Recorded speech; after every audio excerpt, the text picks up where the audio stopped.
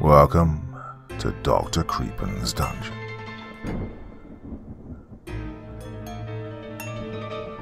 Welcome to Darktown. Population unknown, but decreasing with every passing story. Tonight we take a journey together through this ostensibly normal, everyday American Midwest city. Now, as ever before we begin, a word of caution. Tonight's stories may contain strong language, as well as descriptions of violence and horrific imagery. If that sounds like your kind of thing, then let's begin.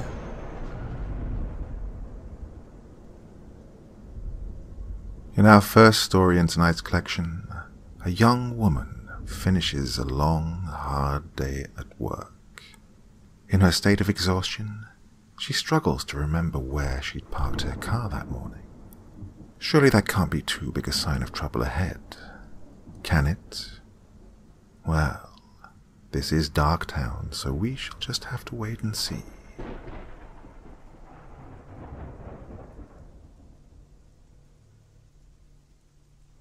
I work in an insurance company. I was in the midst of finishing my temp to perm assignment and working major overtime. My boss, of course, didn't mind, as we had a lot of projects to complete, and she needed someone willing to stay and work the late hours. I didn't mind because, well, let's face it, college loans were killing me, and I needed the extra money. My co-worker, John, was also a temp to perm. Stayed late with me to help finish the massive project which was due that day. After coming in early, working through lunch, and leaving at 9 p.m., we had finally completed the project. As we left, John noted that the hallways were eerily dark, even for it being 9 p.m. on a Friday night. I brushed it off with a joke that there were probably ghosts and or demons running amok, and this was their way of telling us we had to leave. When we finally made it down to the parking lot, I panicked for a moment, as I couldn't see my car. But as I passed a tree, I realized my tiny Fiat was simply hidden behind the massive trunk of the tree. As I walked closer to my car, I noticed that it was facing the wrong way and stopped walking. John, who wasn't paying attention, looked back at where I was standing and asked what was wrong. I. Maybe it's just been a long day, but I swear I didn't back my car into that spot, I said tiredly, shaking my head, and continued walking. You just finished a 13 hour shift with no lunch. You're exhausted and your blood sugar is low. You probably forgot that you parked that way this morning, John said, trying to ease my worry. I sighed. Yeah, you're right. All right, well, see you bright and early Monday morning. We waved goodbye as he climbed into his car and drove off. I stood at the front of my car and, cocking my head to the side. I stared at it, racking my brain, trying to remember how I'd parked it this morning. I rubbed my eyes and, in defeat, I sighed once more, shook my head at my silliness, and climbed into my car. It was too warm for an April night, so I rolled the windows down and contemplated putting the top down as well. In hindsight, I wonder if that might have changed anything. If maybe this whole thing never would have happened. Instead, I turned up my music and drove home. As I was driving home, I called my mother to let her know that I was finally leaving work. She was at the beach house with friends, but it was still good to hear her voice. Hi, Mum. I'm finally leaving work. I said as I rolled up the windows and turned on the AC. Hi, sweetie. Long day for you. she said, over the background noise of what sounded like a few of her neighbors gathered around the bonfire. Yeah, came in early, worked through lunch, and I'm. I paused as I heard a jingling noise. It almost sounded like someone clinking two quarters together, or shaking a dog's metal prong collar. Are you okay? My mother's voice came through the speakers of my car's Bluetooth. Oh, yeah, no, I'm fine. It's fine. Sorry, I'm just really tired, I told her, silently chiding myself for listening to too many horror podcasts at work. Mum went on to tell me about the dogs and how everyone was just going down to the beach house. As she was talking, that same clinking, that same jangling continued every now and again. Mom, do you hear that? Hear what? That jangling or clinking or whatever it is. A Duchess's tags clinking together. I don't hear anything, and Duchess is outside with your father. okay, it's probably an old spoon down on my floor. or I'm about to be murdered. Whatever. If I am murdered, at least I won't have to pay off my student loans.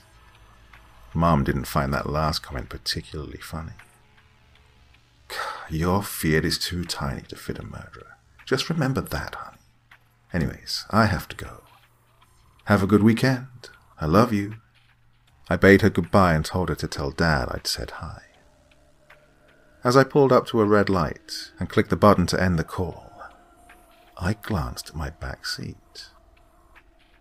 I'd put one of the seats down earlier in the week, and I could almost see into the truck. a murderer could so fit into my car, I said to myself as the light turned green. I kept the music off but rolled the windows down again.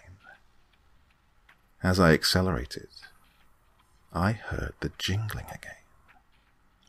I groaned in annoyance and twisted in my seat to see if there was anything back there. Nothing. It was empty. Gah, what the hell? I said angrily. Another stoplight and the jangling began again. Oh, for the love of God! I said, frustrated. Hi, if you're gonna kill me, just do it already. Nothing.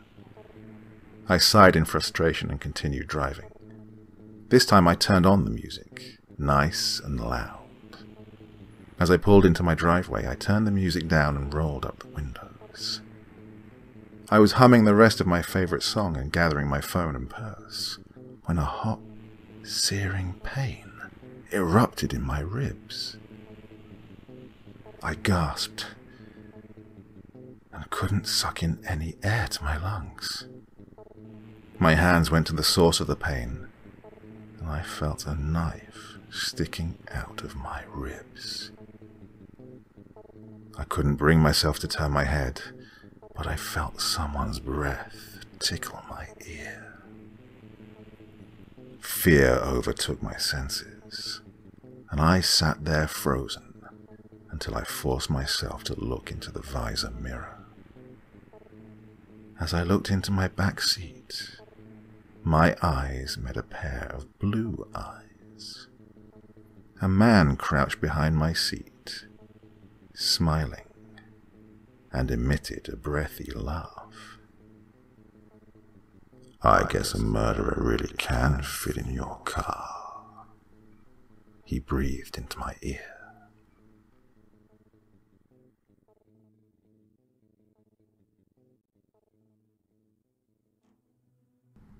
For our second story this evening, we remain in the heart of Darktown, but moving on to the hospital. A young medical worker comes face to face with an unusual patient and takes matters into her own hands. Let's see how it ends.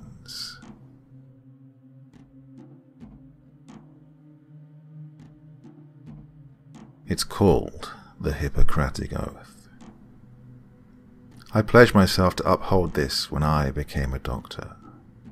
Do no harm is about as brief a summary that can be created for this agreement.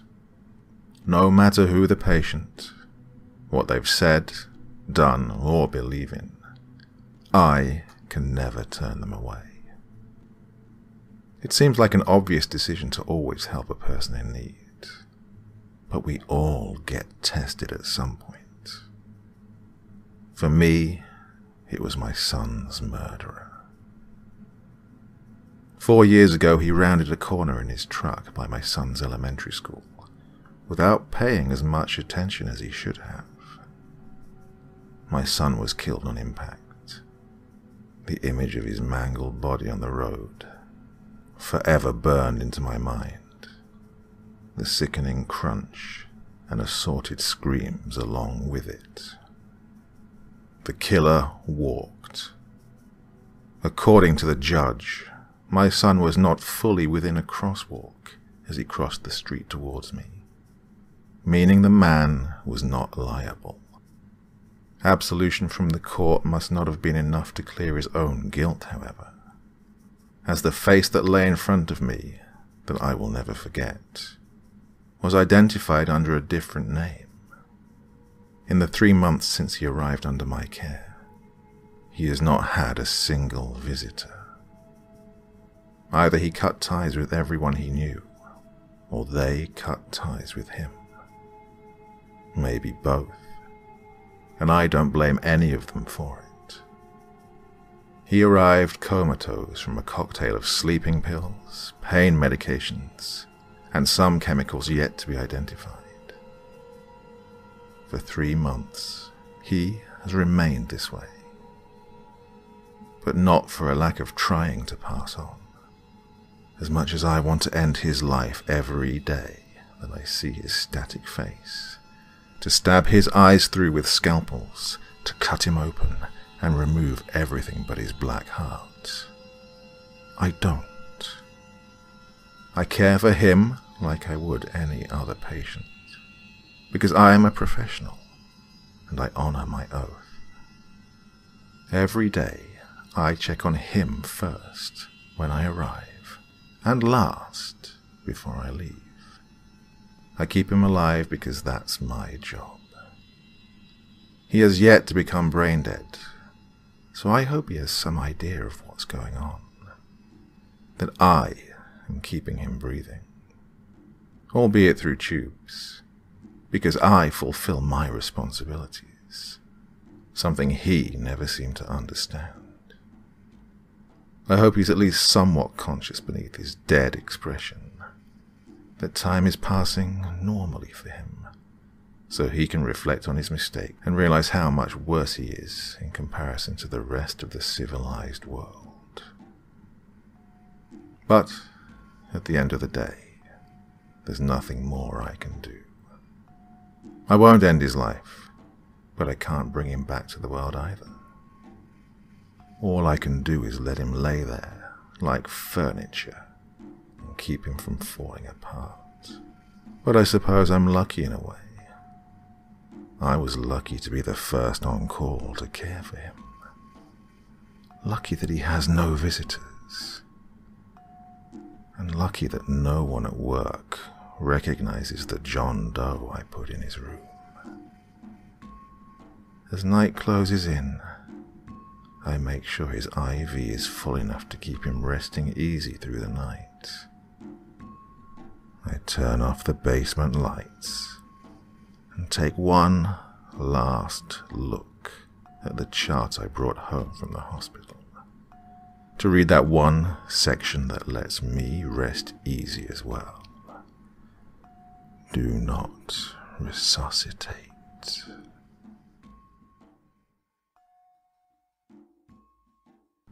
Revenge, it seems, in Darktown at least, is a dish best served long and slow. Now, for our next story, we move away from the city centre and out into the suburbs. A young man has stayed out too late at night and tries to sneak into the house unobserved. Let's see if he makes it.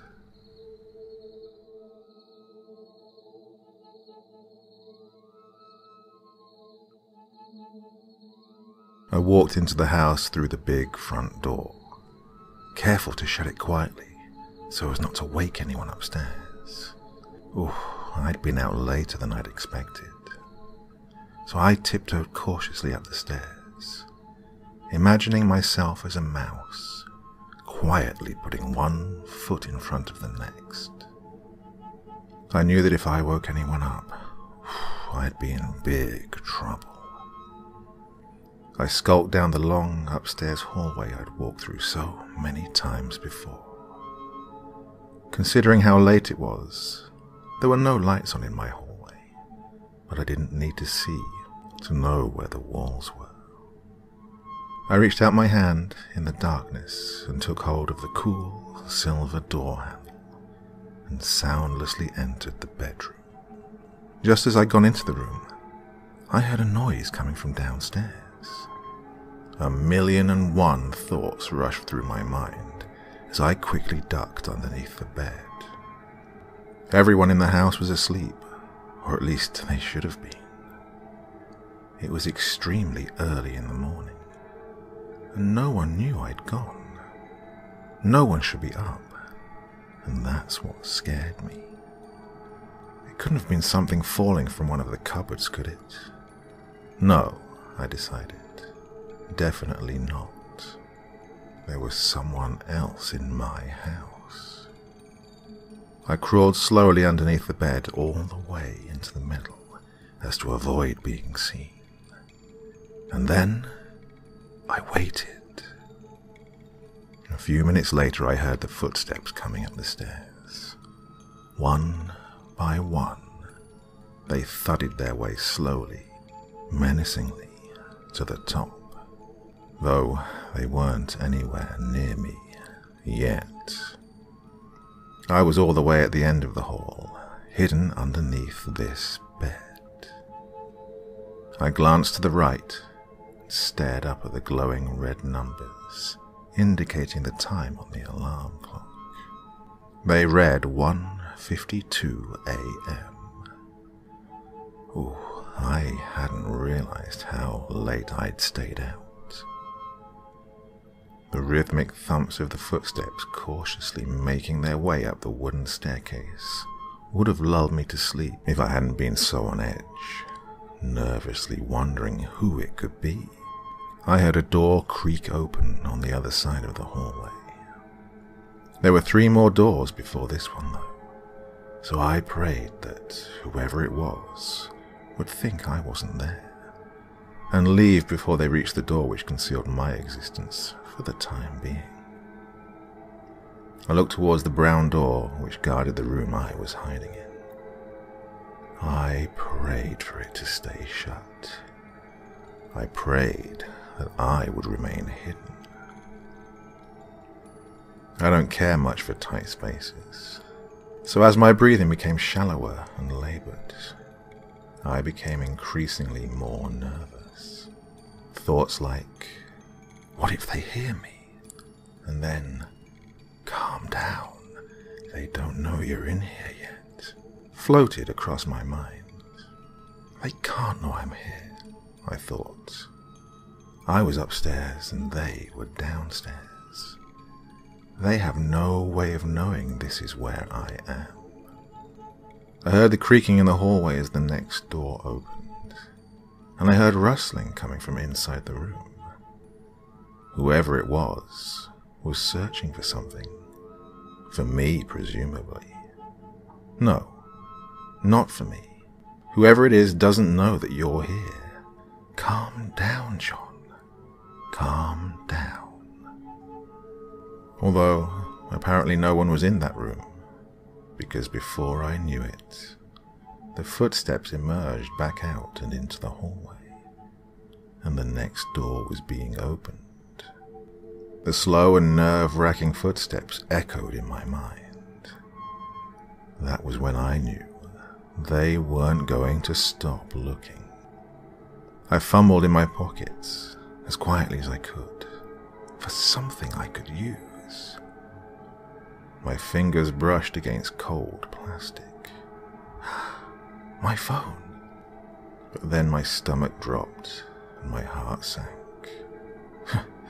of course, I couldn't call the police. As my attention slowly turned towards the brown door again, I heard the footsteps approach the door.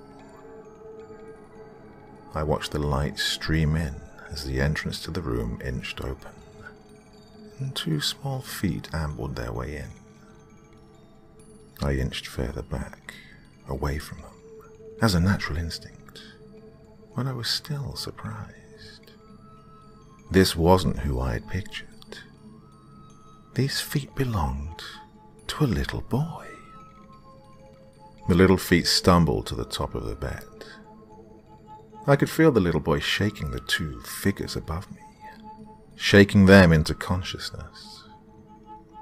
I slowly slid my knife out of my jacket's front pocket, readying myself, trying to avoid the light which was now streaming in through the open door and catching the blade.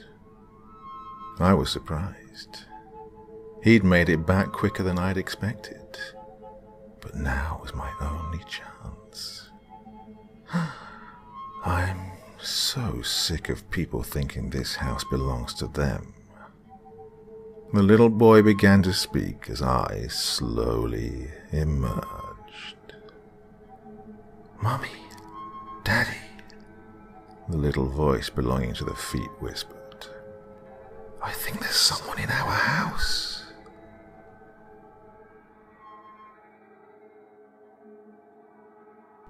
Well, some people just seem to have a real problem of letting go of the past, don't they? Ah.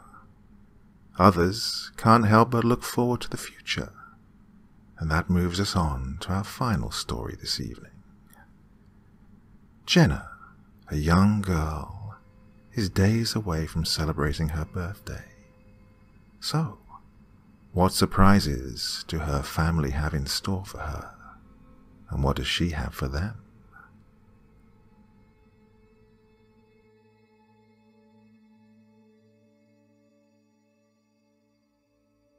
The tall grandfather clock bellowed four times through the two story house as the county school bus pulled off from the driveway.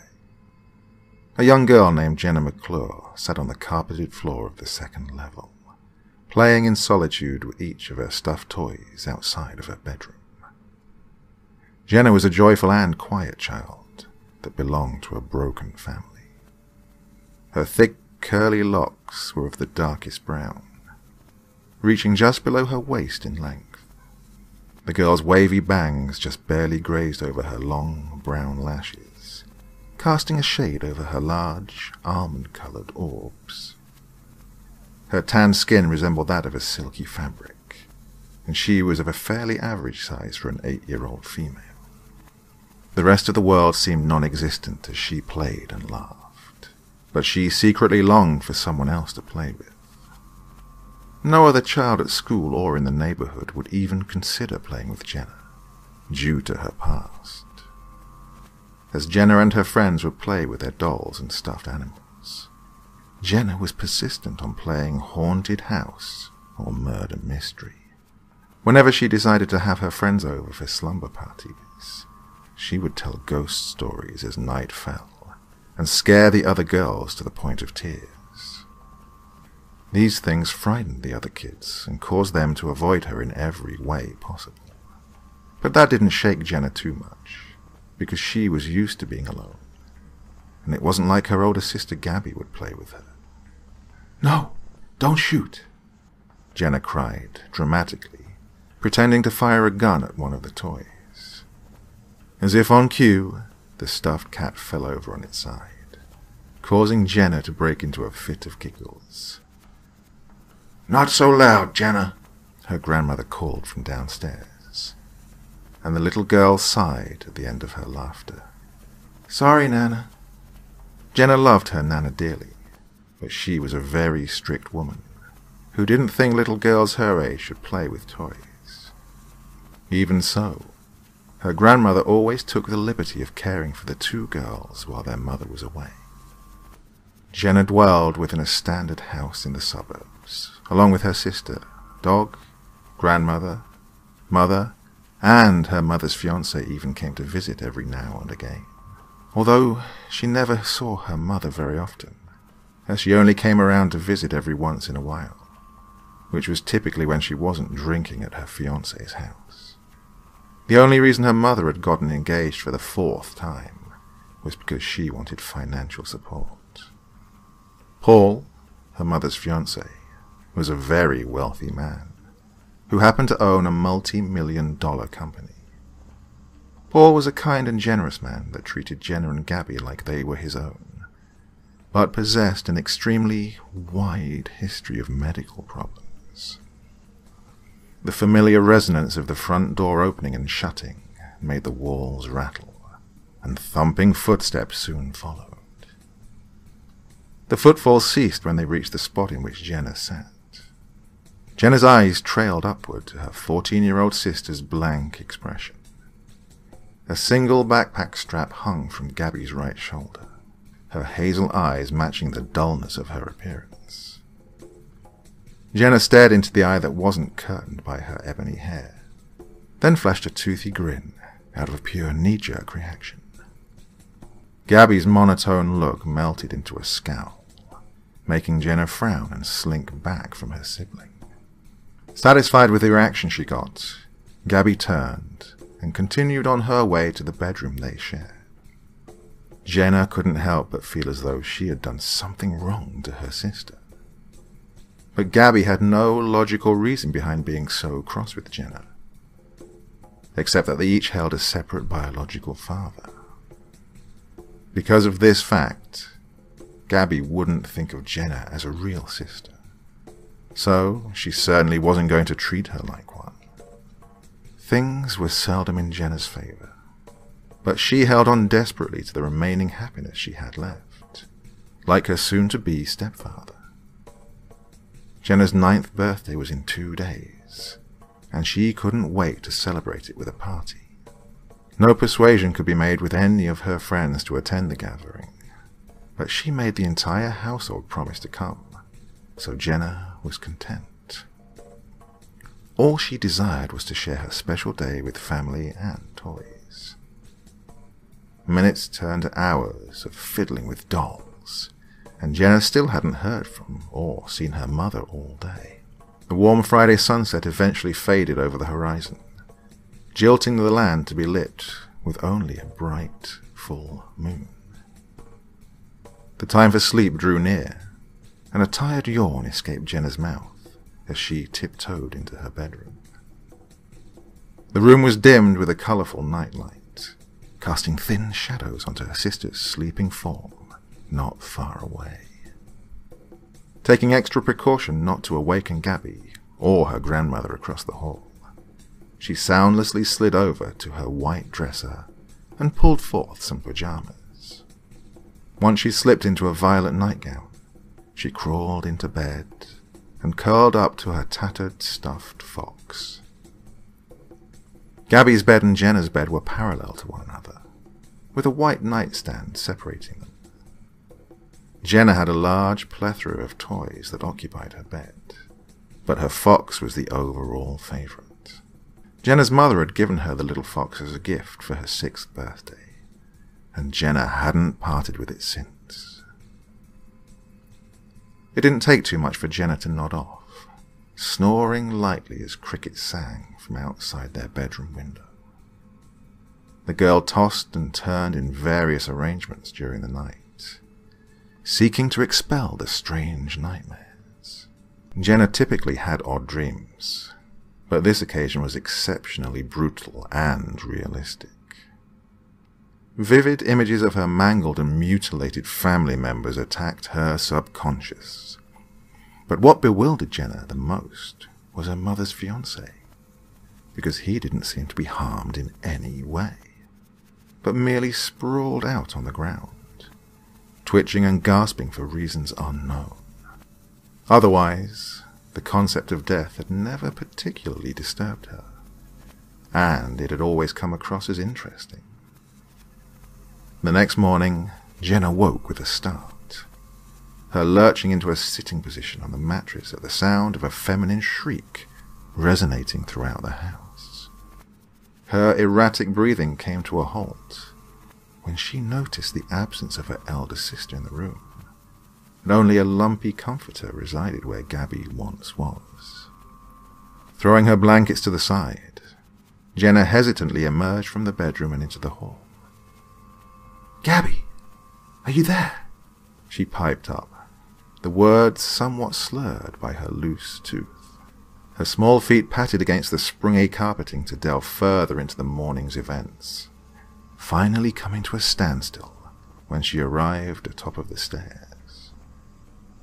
She could perceive a commotion of some sort arising from the dining area downstairs, but deafening sirens that screeched in the distance ultimately convinced her to scramble down the staircase. Jenna quickly peered over the stair rail into the kitchen, her eyes immediately beholding the scene before her.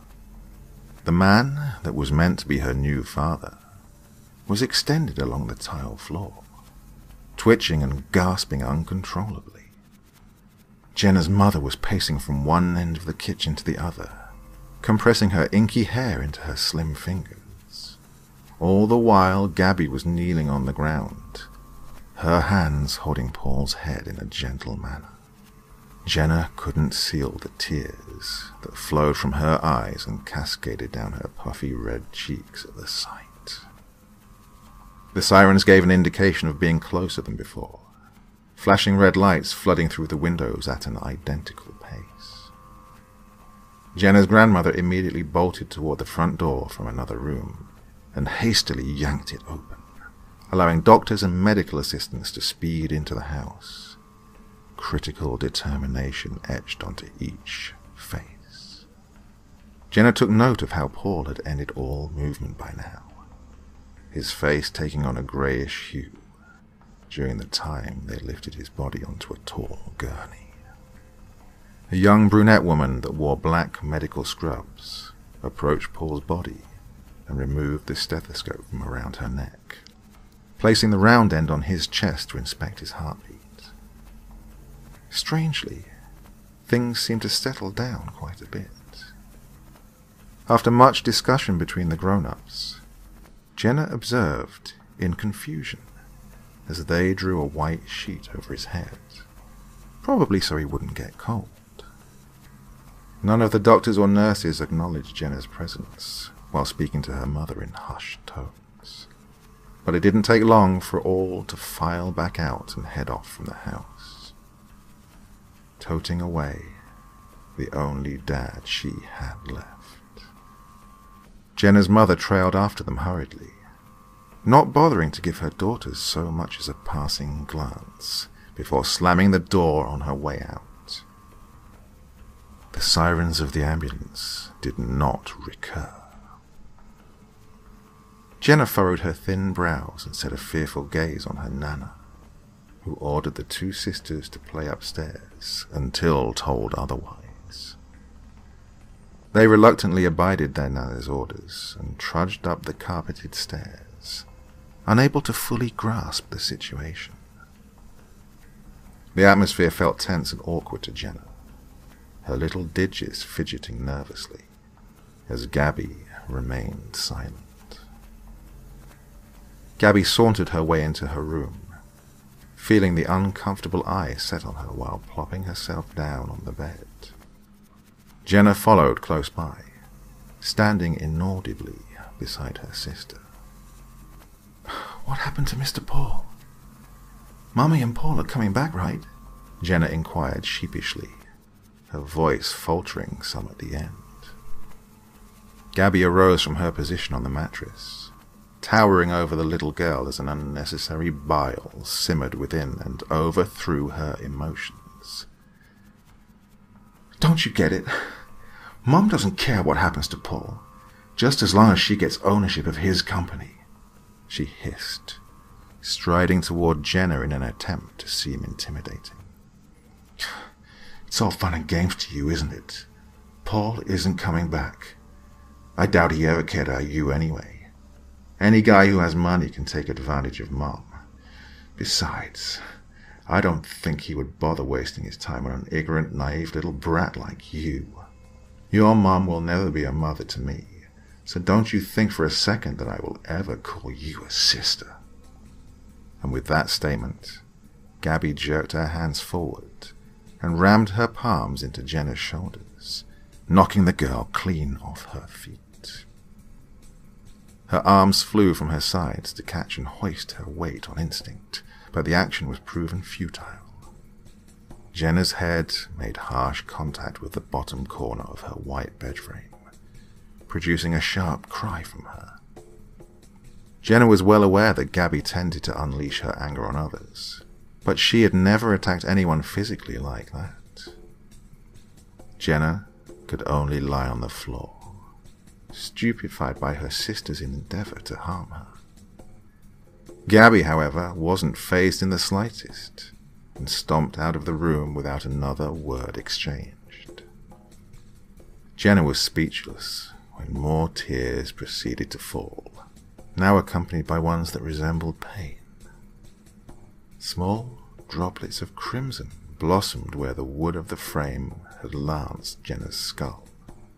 So the girl shakily stood from the ground to retrieve a paper towel, bitterly muttering, I never want another dad, ever again. The day dragged on, with no sign of Jenna's mother or stepfather for hours. Jenna and Gabby were served a few snacks here and there, but breakfast and lunch were disregarded.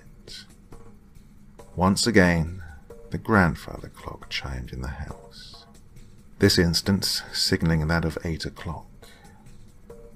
Jenna felt obligated to steer clear of Gabby, and entertained herself by petting and pampering her toy fox. She couldn't bring herself to rat Gabby out for the act she had committed.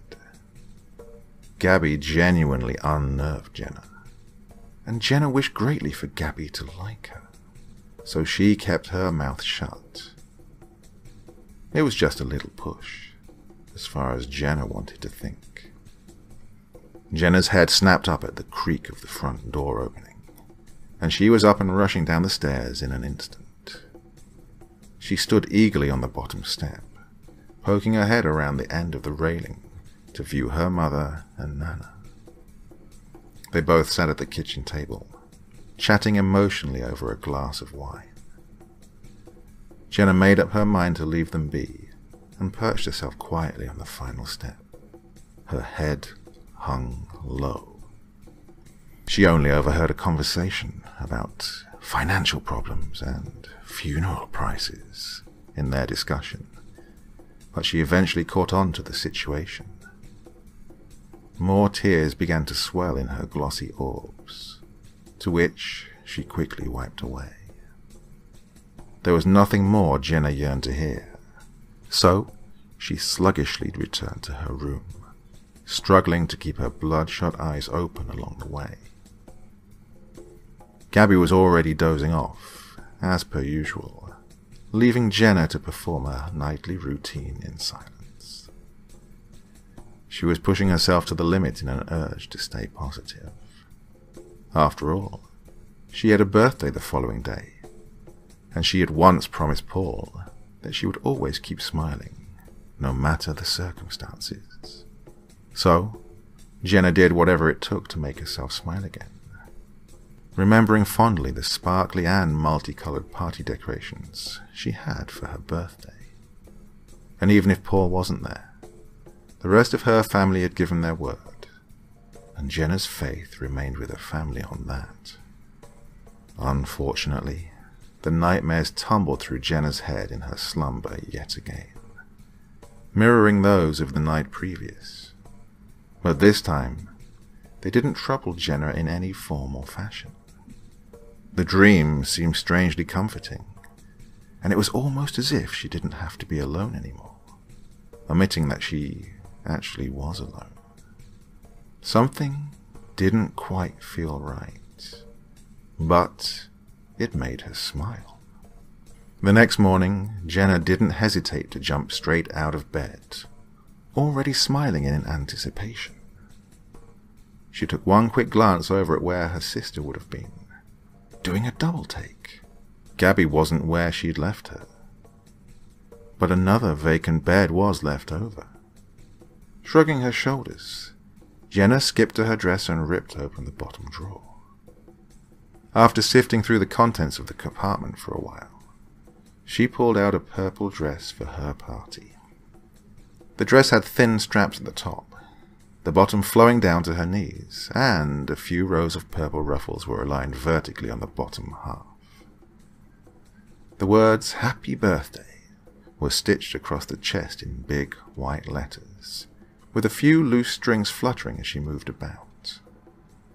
Then she slid on a pair of flat, charcoal dress shoes each shoe wearing a little black bow at the tip. Lastly, Jenna brushed the tangles out of her long hair and raced clumsily down the stairs, where she presumed everyone would be waiting.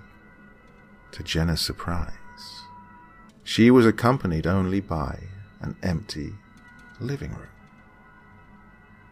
Darting her eyes around in puzzlement, she wandered into the kitchen supposing her family must be waiting in another room. Again, she found a lifeless area of the. Jenna began to panic and investigated the space for any sign of their location. While she searched, the girl came across a small note that was taped to the fridge and curiously plucked it from its place. Jenna read the note aloud. Girls, your mother and I have gone out to eat with one of your mother's employees, Mike. Be back soon. Sincerely, Nana. She had difficulty pronouncing a word or two, but understood what it meant. Although the note didn't share anything that concerned Gabby's whereabouts. Gabby! Jenna bawled, placing the note on the kitchen counter. Gabby, are you here? she asked again, raising her volume. But her inquiry fell on deaf ears as no response came. Jenna's eyes fell to the floor. Maybe she's at her friend's house. She'll probably be back soon, she assured herself, tugging on the refrigerator door. There was a vanilla birthday cake from the icebox that Jenna set neatly in its respective place on the table removing the lid to put nine candlesticks into the saccharine food item. Paul had allowed Jenna the choice of her own cake at the grocery store earlier in the week, along with the purchase of a small present that she wasn't admitted to open until after they'd eaten the cake. She gathered up her favorite toys at the table, hung her birthday banner across the dining room wall, set purple flowers along the counters and walls, and a little glitter never hurt anyone. Jenna managed to finish up within half an hour, right about nine o'clock in the morning. With a glimmering purple cone hat strapped to her head, she sat herself down at the kitchen table. Jenna didn't even want to leave the table until her family got back, so she kicked her heels and patiently awaited their return. Six times the grandfather clock rang informing inhabitants that the sun would begin to fall in the sky. But Jenna had not moved from her spot at the kitchen table. No one came home in those nine hours, or even took into account the girl's birthday. She was deathly quiet, inhumanly motionless, barely blinking her sunken eyes that continuously stared at the white wall in front of her. The clock's ticking pendulum was the only noise made throughout the subdued house, almost mocking her loneliness. Jenna knew she needed to smile, but she felt numb, like something inside of her had broken. Her eyes flickered down to the chalky paring knife that rested innocently next to a bowl of fruit her fingers soon crawling forward and grasping it tightly. She then carried out her nearly disregarded promise and smiled from ear to ear.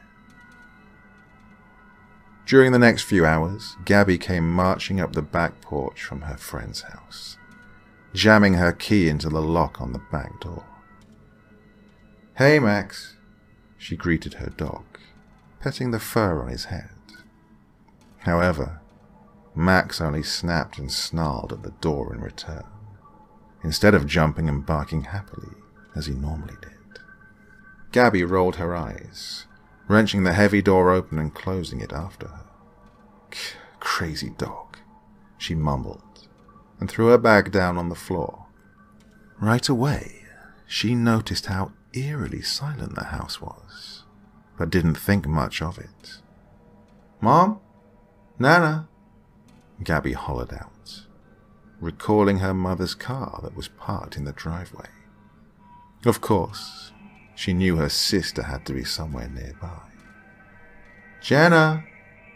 Plodding over to the stairs, she scanned the different rooms that she passed, ultimately finding no one. Jenna! Her voice was lowered as she stepped cautiously up the staircase, skimming her hand over the beige wall, while taking wary strides toward her room. A flimsy object of some sort crunched under Gabby's foot. Cocking a thick brow, the teenager bent down and lifted a purple party hat from the ground. As she was examining the specks of red that dotted the paper headwear, a small but audible thump originated from behind her wooden bedroom door. Gabby shot a menacing glare at the door, tossing the hat into the other direction. Jenna, I know you're in there. She flung the door open in annoyance, a fragment of hallway light spilling into the unlit room. An awful, metallic scent permeated her nostrils when she entered, but she simply dismissed the fact. Gabby fingered the wall on her left to flick the light switch, discovering that someone had stuck countless layers of tape over the switch to keep it off. Oh, you've got to be kidding me, she grumbled, stepping off to the side and peeling the tape from the plastic. Suddenly, the bedroom door slammed shut causing Gabby to nearly leap out of her skin. She could just faintly hear a heavy breathing in front of her, prompting her to take several steps backward. Gabby's heart began hammering in her chest, her nerves dancing frantically to the beat. Jenna? Come on, this isn't funny. She received no reply from the darkness that surrounded her. In a rather abrupt manner, the switch to the lights was clicked on without any further warning, triggering Gabby to squint her eyes in the haze of brightness. Once they adjusted to the lighting, Gabby's eyes widened to the size of her balled fists. Jenna was poised a short distance away, a wide, malevolent grin plastered onto her smooth face one that seemed luminescent compared to the rest of her dark aspects. Her chocolate mane was matted, scratches covered her limbs, and flakes of dried blood clung to the skin on her cheeks. A fresh, crimson substance coated the majority of her legs and dress, while she clenched a stained, glistening kitchen utensil in her right hand. Her other arm cradled a bloodied, stuffed fox, who lacked a single button eye, with white stuffing protruding from the rips in its fabric. Jenna's shoes left scarlet footprints in the tan carpet as she stalked toward her sister. Realization slowly dawned on Gabby, and it took every fiber of her being not to scream when she laid eyes on the room around her. Smeared handprints of red lined the walls. Lamps were knocked over, and assorted items were strewn across the floor to insist the obvious signs of a struggle. The intense odor shot uncomfortably icy chills down Gabby's backside, adding to the below ambient temperature that this specific room held. Jenna, look, I don't know what the hell is going on here, but you better tell me where Mom and Nana are right now, Gabby demanded, beginning to back away from the shorter girl. Jenna's smile seemed to increase, and she paused a few feet in front of Gabby. What's the matter, sissy? You aren't smiling, Jenna cooed, taking another step. Do you know what happens to people who don't smile? Gabby's face paled significantly, the adrenaline in her system causing her arms to coil in defense, as she set aside her dignity and implored, No, please, get away. Come on, Jenna, we're sisters. This is crazy. Jenna chuckled through her gritted teeth, a wry smile sculpting her lips. Oh, is that so? No, I don't think it is. Your mom will never be a mother to me, so don't you think for a second that I will ever call you a sister. She taunted her older sibling, using the reminiscent command in a sing-song tone. Gabby's feet appeared like they were glued to the floor, a look of unadulterated horror sweeping over her refined features as Jenna continued. You know, you were right, Gabby. It's all just fun and games. Jenna was small when compared to her sister, but she was nimble and accommodated plenty of energy. Gabby's screams emanated throughout the house for the duration of the night, haunting echoes sounding as though she were pleading for hours, even if she was lifeless within minutes the magenta candles on Jenna's birthday cake were the only source of light in the house, with each of Jenna's immobile family members and blood-soaked toys gathered around it. Everyone wore radiant party hats, thanks to Jenna, and were thoroughly dressed in red. They all sat at the table in a near pitch black kitchen, but Jenna was the only one capable of singing her birthday song. When the time came, she couldn't have undone the bow on Paul's birthday gift quick enough, revealing a sparkly set of ruby earrings, which she swiftly drove through her unpierced earlobes in the excitement of owning her first pair. The pain and the god awful scent didn't trouble Jenna in the slightest, given that she was finally alongside her family, and her sizable grin suggested that she was the happiest she had ever been.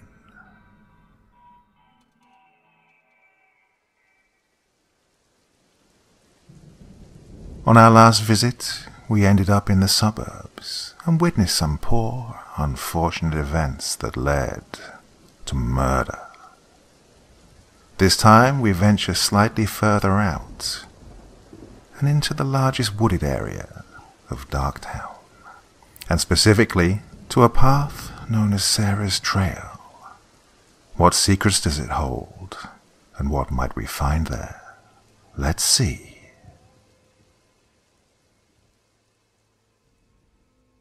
I've lived in this town all my life, and I've never experienced anything more life threatening and horrific than when I travelled through Sarah's trail. I was only 16 at the time and a real adrenaline junkie. To me, the trail was just a convenient path that made travels from my friend Chloe's house to my house shorter in time. The trail began near the local Walmart, where the back of the store led into a forested area, and it stretched all the way to the other side of town, where most of the housing complexes were, including mine. My history teacher had told us one day during a lecture that the trail was the remains of what used to be railway tracks, constructed for the old railway system, but rotted away after years of neglect due to the business being sued in the 1920s.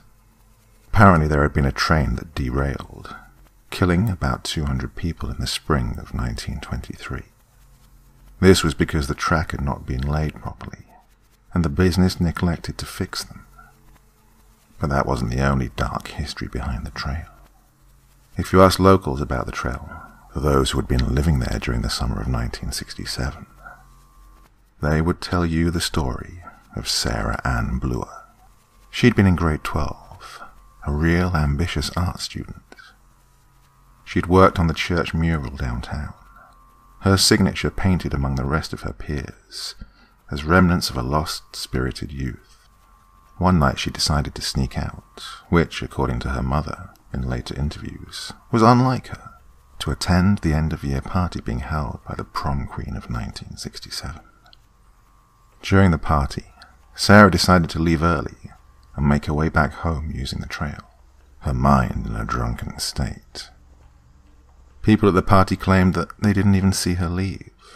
Of course, at that point, they were all probably so drunk they didn't know which way it was up. They found out the next morning that Sarah Bluer had not returned home that night. Posters were put up, search parties organized. My grandmother, who told me the story, had been part of the search. She told me how they searched that whole stretch of trail, all areas of the forest. The town searched for a whole month, but no one could find the Bluer girl. One day, a teacher from one of the search parties stumbled upon Sarah's bracelet, lying in the grass a kilometer off the trail. A few centimeters from that was a severed arm rotted and crawling with maggots. The nails were painted a lime green. Around the arm, the trees and leaves appeared to be smeared in dried blood. The creepiest part about it was the fact that one tree had the words, them, painted on it. Of course, they discovered it was Sarah's blood and her fingerprints. She had been the one who painted the words. The cops investigated for years, looking for a suspect. They never found her body or the person responsible. Rumors spread around town. Some said she was murdered by a crazed local farmer, and her body was ground up into meat and sold on the market. Others said she was murdered by vengeful spirits of Locomotive 99, the train that had derailed. Everybody had their own theory on what had happened to Sarah Bluer, and they had their own stories to tell about the trail. A few months after her disappearance, her family spoke up about hearing what sounded like a girl crying in the woods in their backyard every night when they let the dog out. Of course, they were ridiculed for their claims, people thinking it was just a hoax and all. But then more people came forward. A girl named Jessica claimed that she walked the trail home one evening and saw in the distance a strange light that illuminated the darkness. She said that as she got closer, she could hear the cries of a girl. She ended up running back to her friend's house and getting her mother to pick her up. But the scariest count was the one that happened to a classmate of mine. Jimmy was coming home from a party one night, taking the trail by himself. Apparently, as he got closer to the end of the trail, he could hear the screams of a girl. He described them as painful, desperate shrieks for help. Then, as he got closer, he could see in the distance a girl. He said she wore a pink dress, her skin pale as day. She had reddish blonde hair and red eyes that were bleeding. She had stood frozen in the middle of the trail, staring at him. He told me that her mouth had been open, eyes wide, as she screamed at him. Blood dripped down from where her arm had been severed off. Jimmy had run down the trail, not bothering to stop until he got back to the party. He swore he would never take the trail ever again. So, why had I taken it? To be honest, I was a skeptic. Sure, Jimmy was a great guy, but he always drank too much at parties. And people like to make up stuff like that for attention. Besides, that particular night, Chloe and I had been home alone, as her parents had been out of town for a party. And my parents worked out of town, so they couldn't pick me up. So the trail had been the best option. I'd left Chloe's late, around 10.30 it must have been, and made my way to her backyard, where the trail began. I remember that particular night had been really hot, and I'd taken my blue hoodie off, hanging it off of my shoulder as I walked. The woods had been pitch black, the only source of light coming from my flashlight. It was an old grey thing that barely lit the path, so I was pretty much in the dark. I must have been twenty minutes into my walk when I began to feel cold. I was confused as there was no breeze or any source for the cold air. It was like all of a sudden I was freezing. I pulled my hoodie on, my body still cold as I walked faster. I was looking around now, the dark suddenly feeling suffocating. My heart began to race, adrenaline rushing through my veins. I sped up as the woods grew darker around me. The flashlight had suddenly begun to flicker, and the stream of light dulled. I hit it against my hand rapidly, the light still flickering. The path was black now, the outline of the trees around me. The night sounds suddenly became louder, the crickets chirping in my ears, the sounds of a twig snapping. I was extremely on edge. I gave up on my flashlight and instead began to run, my heart booming in my chest. And that's when I saw it. A light in the distance, illuminating the end of the trail. It was a green light, smoking like dry ice. I'd frozen in place, the fear overpowering me. The shapes of people walked out from the lights. It had been a row of six black figures with pointy heads and pure red eyes. I didn't know if they were human or not. It was too dark to tell. They moved slow, almost like zombies, towards me. I could hear whispers around me suddenly, like they were in the bushes at either side, like they were surrounding me. I began to turn to run when I came face to face with bloodshot eyes and pale skin. A girl stood right in front of me, her wide eyes staring at me. Blood covered her skin. Her mouth was wide open, her teeth all missing as she screamed. Her right arm dangled like it was lifeless. Her left arm was missing, a bloody stump in its place. I gasped, falling backwards as I ran off the trail into the woods. I had to get out of there, off that trail. My reasoning skills were clouded by my consuming fear. I must have tripped a couple of times through the woods over branches and bushes until I finally made it to a backyard. The back porch light was on, and it looked like people were in the house. My lungs had burned from my escape. I made my way to the house, looking behind me in fear. I jolted as the figure stood a couple of meters away, just watching me.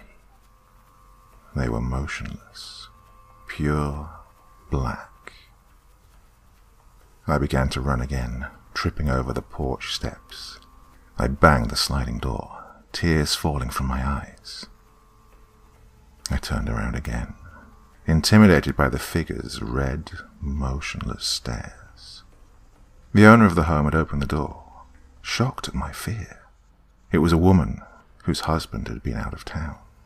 Her children were sleeping, and she said she was up late getting laundry done. She asked me what had happened, why I was so scared, and if I wanted to call my parents. I told her about the people in the woods, how they were still out there, watching the house. She investigated, looking from behind the sliding door of the woods. I told her they had pointy heads and red eyes. She began to look at me skeptically, replying that she saw nothing. I couldn't believe it, going to look to see for myself. I thought maybe the glass made it hard for her to see, so I was prepared to point them out for her. But, to my surprise, they weren't there anymore. The woods just stared back at me, dark and normal. The woman had asked for my telephone number had called my mother. She left work immediately, coming to pick me up across town. She'd interrogated me, asking if I'd taken any drugs or alcohol, got into anything I wasn't supposed to. I begged her to believe me, but what I saw was true. The next day she called the local police station and gave them my statement. They searched the woods looking for the pointy-headed people and the bloody girl. They found nothing. They concluded, in their minds, that I was either crazy or looking for attention. My story was also passed around school, people calling me crazy all the way to my graduating year. That was 1999. Now I'm a 34-year-old writer, still living in town. I chose a house, however, closer to downtown and away from the woods. Despite that, I find myself traveling the forest during the day, searching. I have obsessed over that experience, trying to figure out an explanation, going through tons of articles at the library, hundreds of books on the story of the town. I discovered more about the town's history. During the First World War, there had been an elementary school just off the trail that had burned down one day during class. It killed 11 students and a teacher who had been trapped in the growing smoke and could not find their way out. The ages of the dead students were between five and nine. No one knows how it started or who was responsible. Then, in 1950, three teenagers hung themselves out near the falls, deep in the woods. A surprise to the residents, who described the students as full of life and ambitious. None of them had showed previous signs of depression or suicidal thoughts. Yes, it seems the town had a dark side, all connected to those woods. I speculated for years, trying to figure out the reason for all of the deaths.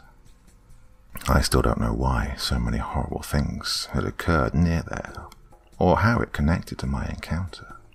The only thing I was sure of was that the girl I saw in the woods that night was Sarah, and her spirit must be stuck in those woods forever, suffering. It made me sad, thinking about how she had to spend eternity roaming the woods where she had died. And what about those pointy-headed people? The image of them painted in blood always popped into my brain. Did they kill Sarah? Did they kill the teens? Did they burn the school? What were they? Were they even human? All questions still unanswered. And did I even want to find the answer? Those things that are in the woods are evil and are better left hidden. I know that. But part of me needs to know, needs a conclusion. That's why I'm writing this as a possible goodbye note. I know what I'm about to do is dangerous, and I honestly don't know if I'll come back from my trip. I just know that if I don't go to the trail tonight, if I don't discover what those beings are, the unknown will make me go crazy. So, I say farewell to my family, and I hope they can forgive me for leaving and finally see that all those years I was right about the woods. I love you, Mom, and I know that even though you thought I was crazy all these years, you continue to care for me and stand by me. Dad, I'm happy that you and Mum are still together all these years and I hope you can both forgive me. I just want someone to believe, so that whatever evil is out there in those words can be revealed, and that no more death or destruction can occur. I can't live knowing what I know, and just standing by as innocent people die.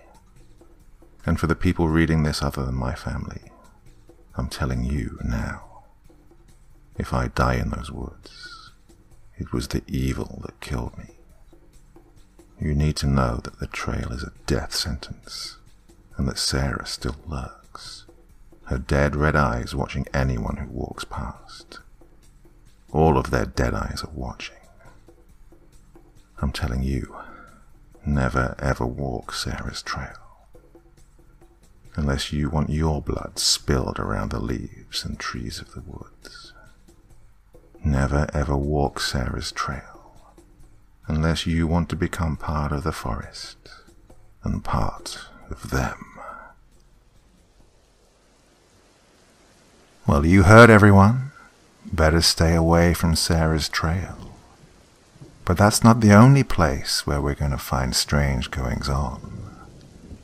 A little further off, just by the woods, we now come across a young girl who's trying to keep safe during a thunderous lightning storm.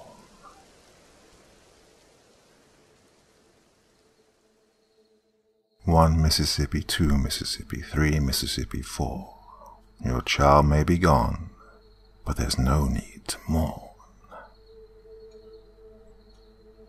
I live in an isolated place, a big old neighborhood where the homes are further apart and ravines cut our yards deep. My house is isolated even more from the others, separated by a screen of oppressive pine trees, swaths of dead grass, and acres upon acres of ragged trails. My parents never let me explore those paths. They said people often lost their way, even in our neighborhood. Why, just last month a little girl had disappeared during a massive storm surge. My parents had been incredibly distraught about it, moaning about how important it was to heed those warnings. Word was, she was never found. I was smart enough to listen, though. I stayed inside, under my covers, and watched as the lightning tore jagged, white-hot paths across the sky. A few moments later, the jaw-tingling boom of thunder would sound. My parents were asleep in the room above mine. They taught me how to gauge the distance of a storm. Wait for a flash of light to fill the night sky. Count by Mississippis and divide by five. For every five seconds, the storm was a mile away. I had a tough time with numbers other than five. We were only just learning how to divide in school. I counted to ten Mississippi this time before the thunder rolled over me, filling my ears with a cacophony of brass roars. The sound didn't scare me. In an odd way, it was rather comforting, affording me the false security of the brick and glass that separated me from the elements. Neither the blinding light nor the deafening tremors could reach me. I looked up at my ceiling, watching the shadows of the trees shutter across the rough, white paint. An eerily beautiful sight. My ragged, fleece blanket was knotted in my arms, my head cradled in an overly plush pillow. I lay prone, waiting for the next crash of thunder. It filled my ears at 8 Mississippi this time. I rubbed the blanket with my cheek, struggling to do the math about a mile and a bit away. As the thunder died away, a different sound permeated my perfect silence. A creak, followed by a dry scuff. Then silence again. My neck hairs prickled, and I curled in harder against myself. Another flash spread throughout the room.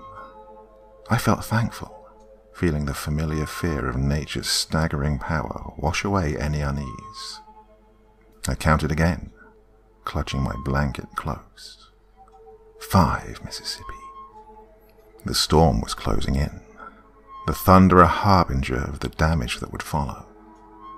Another flash illuminated my room through the big window opposite my bed. I made out the purple outlines of the sparse trees beyond, shuddering briefly as I imagined being out there among them. At least I had my home, my room, my bed. Another peal of thunder washed over me, four Mississippis later. When it died, I heard yet another creak of the floorboards. I remained frozen, convincing myself there was no threat if I could not see it.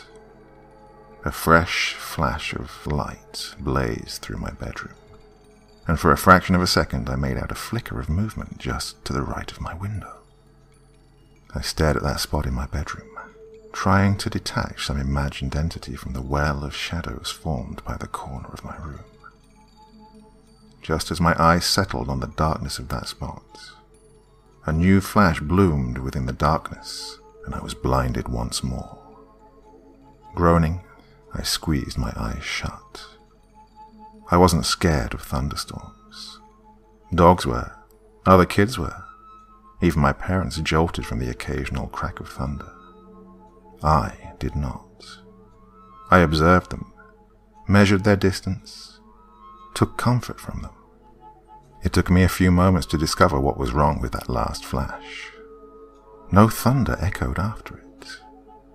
I tried to recall my count, but realized I hadn't done it. I waited for the next spire of lightning to blaze across the trees beyond, and actually sighed in relief when it did. But in that moment, something else caught my attention. As the lightning filled my room, a secondary burst of light seemed to pop up just beyond the fringes of my window. I peered hard into the trees as their purple black outlines were electrified across my vision, but nothing else appeared. With another groan, I buried my head against my pillow and peeked out from under one guarded eyelid. The thunder rolled across my room at a three Mississippi count this time, but again, an eerie creak seemed to dog at its heels. I scanned at my window, searching for any flicker of movement, but none appeared. There was nothing there, only Mother Nature in all her awe-inspiring power, waging a war of electrified plasma and sonic concussions against the earth. I began to doze. My guarded gaze dipped in and out of consciousness, blurring and refocusing on the window. In my mind, I kept up the tally wondering when the storm would hit us. Those flashes bombarded my eyelids, casting spectral outlines of the trees against the weird red void I got when I tried to squeeze my eyes shut. I found I was reaching out more with my ears for any discrepancies, cataloguing the thunder's ripples just as a flash flickered across my reddened vision. Exhaustion must have dulled my senses, because at some point I began to realize that thunder didn't always match up with the lightning flashes. Sometimes it would just be the flash, followed by a creak.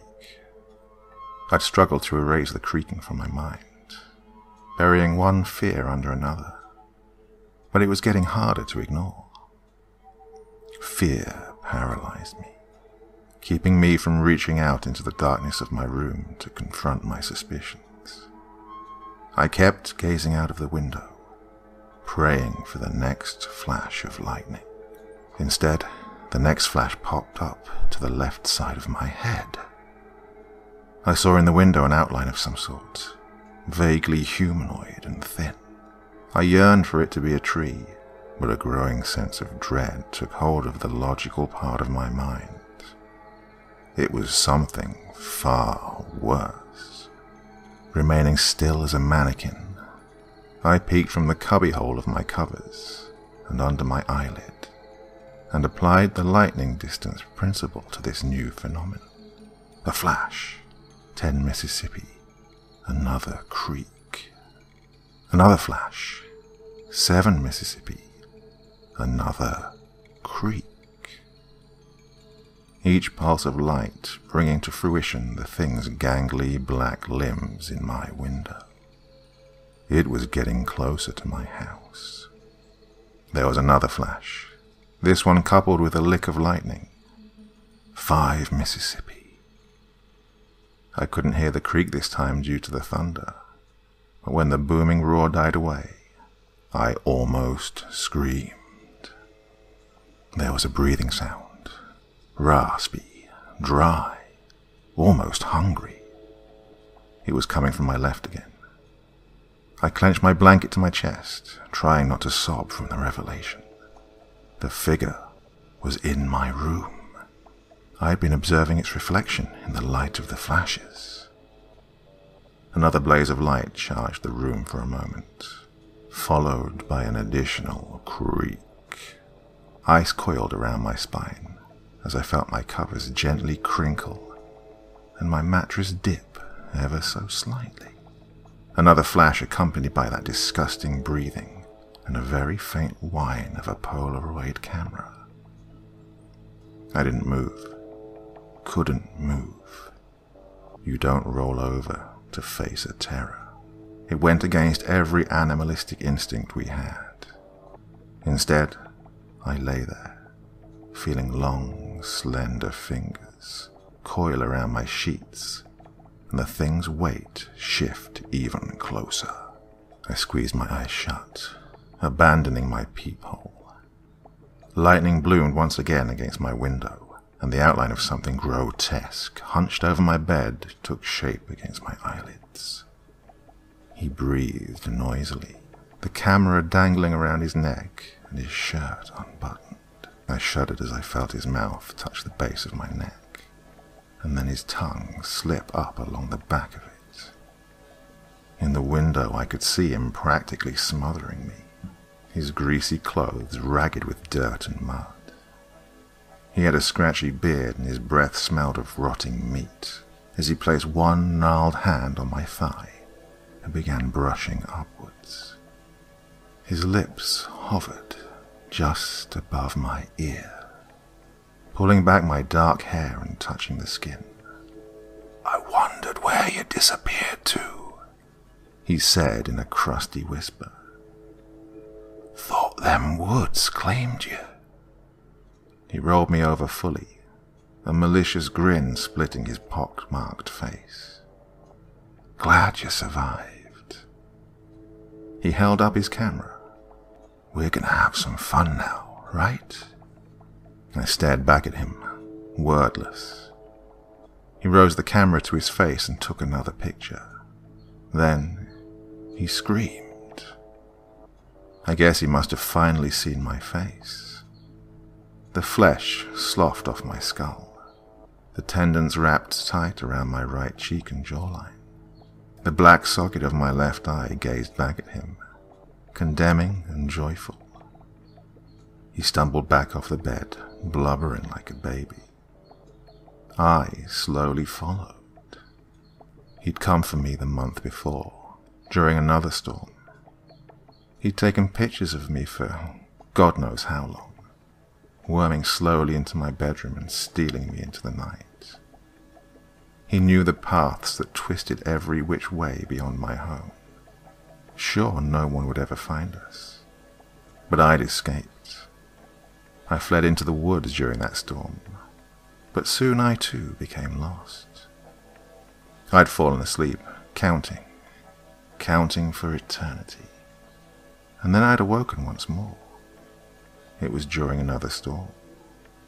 I knew where to go. My parents' grief could never be mended, but I could still make things right.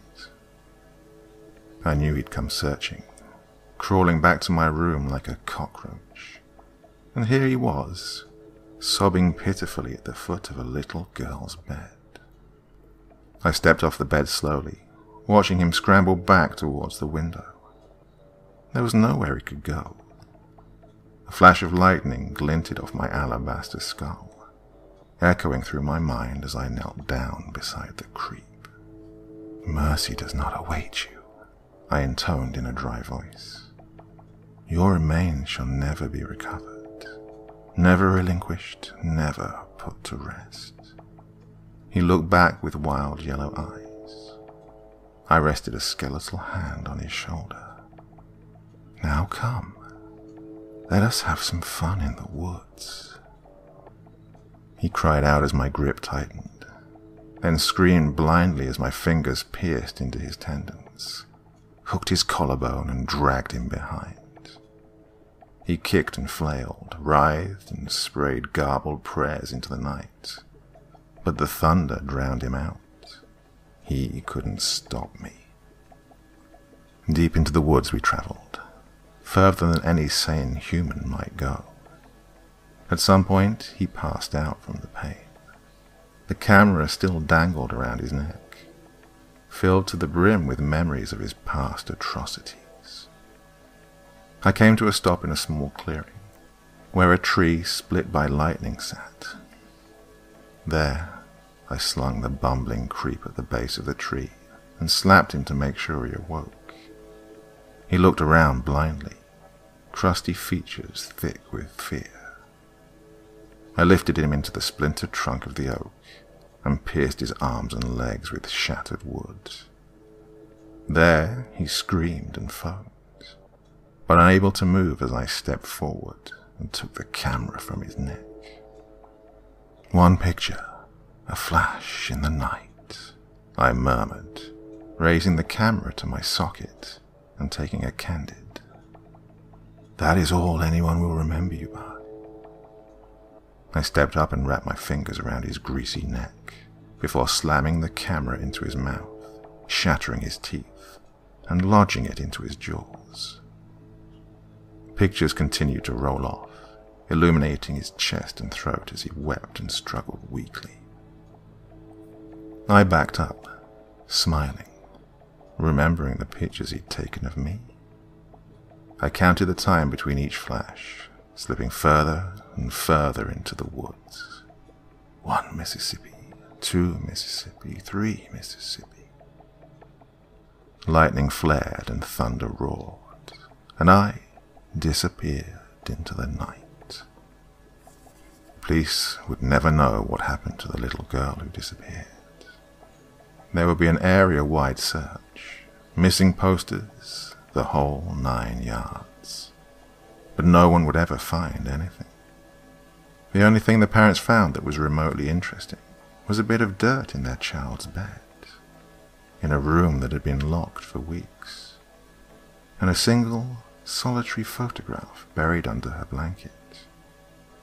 A picture of a shattered oak tree and one simple phrase written on the back. One Mississippi, two Mississippi, three Mississippi, four. Your child may be gone, but there is no need to mourn. Hmm, in that story, revenge really was best served cold. Now, in the final of our three stories for this evening, we move a little further out, towards the city cemetery, where the goings on are even more strange. A young man recalls the events of the past and his time spent in the cemetery.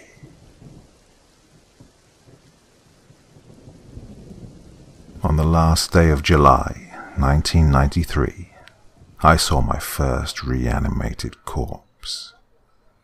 I'd been spending my summer vacation with my grandfather, the head caretaker for the largest cemetery in the county, while my parents were overseas visiting relatives.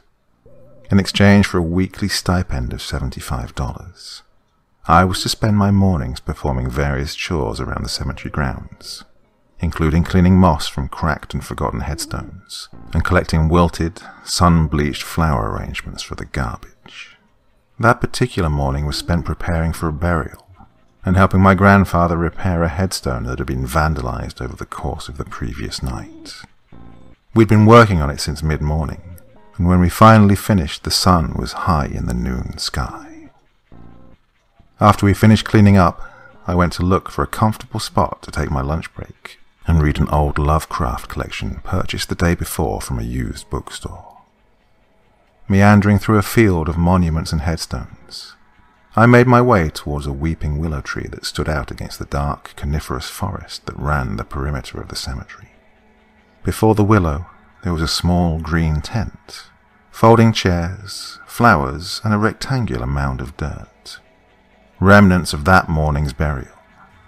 A small green aluminum sign was pegged into the dirt a few feet from the opening. Its tarnished copper lettering identified the grave's inhabitant and lifespan as Grace Phillips, 1914 to 1993. Finding the shade of the tent to be inviting, I made myself comfortable on a couple of the folding chairs beneath it. I wasn't two pages into the story Dagon when I heard what I thought was a strange, muffled sound of thumping beginning to resonate from the capped burial vault in the grave before me. I looked at the hole and immediately dismissed the thought that I'd heard a sound coming from it. I was about to go back to reading when I heard it again. Curious, I set down my book, walked over to the edge of the grave, and listened with intense concentration. A few seconds later, I was rewarded with not only more thumping, but a stifled scream. Terrified, I stumbled backwards, tripped over a row of chairs, and then bolted across the cemetery towards the memorial garden benches where my grandfather usually ate his lunch. I arrived, out of breath and panicked. I told him of the thumping and screaming, and he looked at me like I was insane and had me lead him to the grave. Go get Henry. Run, boy. I sprinted through a maze of headstones and mausoleums towards the large aluminum storage garage that housed both the cemetery's landscaping equipment and a small office. A moment earlier, my grandfather had knelt down beside the grave and listened, just as I had done before. He would later describe what he heard as the most unnerving experience of his life. A voice from beneath a burial vault cap. I burst into the office, startling Henry to drop one of the bags of peat moss he was stacking in a wooden bin, splitting open at his feet. Damn it, why do you... I didn't let him finish. Between gasps for air, I told Henry that my grandfather needed him right away. Sensing trouble, he quickly forgot the bag and we took off running. Henry followed me with as fervent a pace as he could muster for a man of his age and stature. When my grandfather spotted us coming, he shouted for Henry to bring the goddamn backhoe around. Henry, who had worked for my grandfather for twenty years and had never questioned one of his orders, ran down the gravelled road to where the backhoe was parked away from that morning's mourners. I joined my grandfather, who then proceeded to lower himself into the grave and straddle the vault. He cupped his hands around his mouth and shouted into the vault. Hello? Can you hear me? We're going to get you out of there. He was answered by a muffled shriek. Off in the distance, I heard the backhoe's diesel engine sputter to life with an oily growl. Minutes later, Henry piloted the machine over the stone-pegged horizon, its dented chrome exhaust pipe belching a thick cloud of blue smoke that trailed behind it. When it arrived, I stood back and watched as my grandfather instructed Henry, who manipulated the backhoe's arm into position over the grave. Henry jumped off the idling machine and removed a chain harness hanging from a makeshift steel hook on the side of the cab. He connected the harness to a loop of steel welded to the bottom of the scoop, and then climbed back into the backhoe. My grandfather directed him to slowly lower the chains into the grave. Hooks dangled from the ends of the four rusted chains as the backhoe lowered the harness down into the grave. When the hooks were resting on the surface of the vault's cap, my grandfather waved for Henry to stop. He secured the hooks to the rebar loops protruding from each corner of the lid and climbed out. Henry brought the backhoe steel arm up with a hydraulic whine, lifting the cap off the burial vault. The rumble of the engine had drowned out any audible sound of movement, and it wasn't until the cap was resting on the grass beside the grave and the backhoe's engine switched off, but we could hear the blood-curdling shrieking and furious thumping from within the stained hardwood casket. I watched in terror as Henry reluctantly climbed into the grave, straddled the vault, and used a screwdriver to force open the locking mechanism securing the casket's lid. As soon as the lock was sprung, the top lid sprung open and caused Henry to scurry from the grave with a startled grunt. He cursed under his breath as he came to his feet beside my grandfather and beheld the ghastly sight before us. My grandfather told me to look away, but I could not keep myself from staring at the loathsome display. The elderly woman in the casket was thrashing her hands around in a wild frenzy as if she was fighting off an invisible attacker. Every muscle in her body twitched with uncontrollable spasms. Her eyelids fluttered, her irises and pupils concealed by white plastic caps the mortician had used to hold her eyelids shut. Yellow-tinged skin sagged over the emaciated, sunken face. Screams came through curled lips and teeth, artificially clenched with a crisscross of white suture thread. The wig she had been buried in had slipped off, exposing a railroad track of stitches that orbited the back of her head. An autopsy had been performed, her brain removed and weighed. Her head crashed against the burial vault as she spasmed, opening a deep gash on the side of her head. Pink embalming fluid welled up and dripped from the wound. Jesus Christ, what's wrong with her eyes? Henry asked, his voice wavering. My grandfather ignored the question.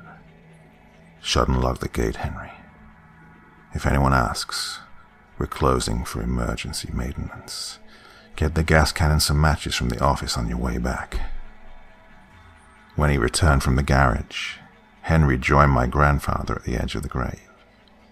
He handed the gas can to my grandfather. We watched with numb shock as he emptied the entire can into the grave and over the woman who was still very active and was now hissing at us. He tossed the can aside and snatched the matches from Henry's nervous, shaking hands. Stand back, he commanded as he pulled a match from the book and struck it against the thin, brown strip on the back. He used the match to light the rest of the matches in the book. It flared to life in his hand, and he flipped it into the grave, igniting the gas with a loud whoosh. Even though I was stunned by the unexpected blast of heat, my eyes never left the sight of the impromptu cremation. I could see the woman still flailing in her casket, even as she burned. The plastic caps on her eyes melted down her blackening face like tears of white paint on cracked asphalt. The sutures on the back of her head snapped, and her scalp curled back as it burned, exposing ivory cranium. The embalming fluid in her body boiled and foamed from cracks in her charred skin. It took twenty minutes for the woman to stop moving. She and her casket were still smouldering when we recapped the vault and quickly filled it in. When we had the backhoe parked in its usual space next to the garage, we collected ourselves to the confines of my grandfather's office. We sat in silence at his desk as we pondered what to make of the horror we had all just witnessed. My grandfather broke the silence. He stated that we were to keep the day's events a secret that we would all carry to our graves. Before the end of the summer, we would find two more of what we began referring to as moving burials, and had cremated the reanimated corpses. We never spoke of the cemetery's secret to anyone, nor did we discover the reason for the atrocious things we found twitching and writhing in the ground. Two weeks ago, my grandfather died from a two-year battle with lymphoma. In accordance with his last wishes, he was buried in the same cemetery that he'd spent so many years caring for. I visit his grave every day when I'm sure no one is watching. And I press my ear to the ground and listen.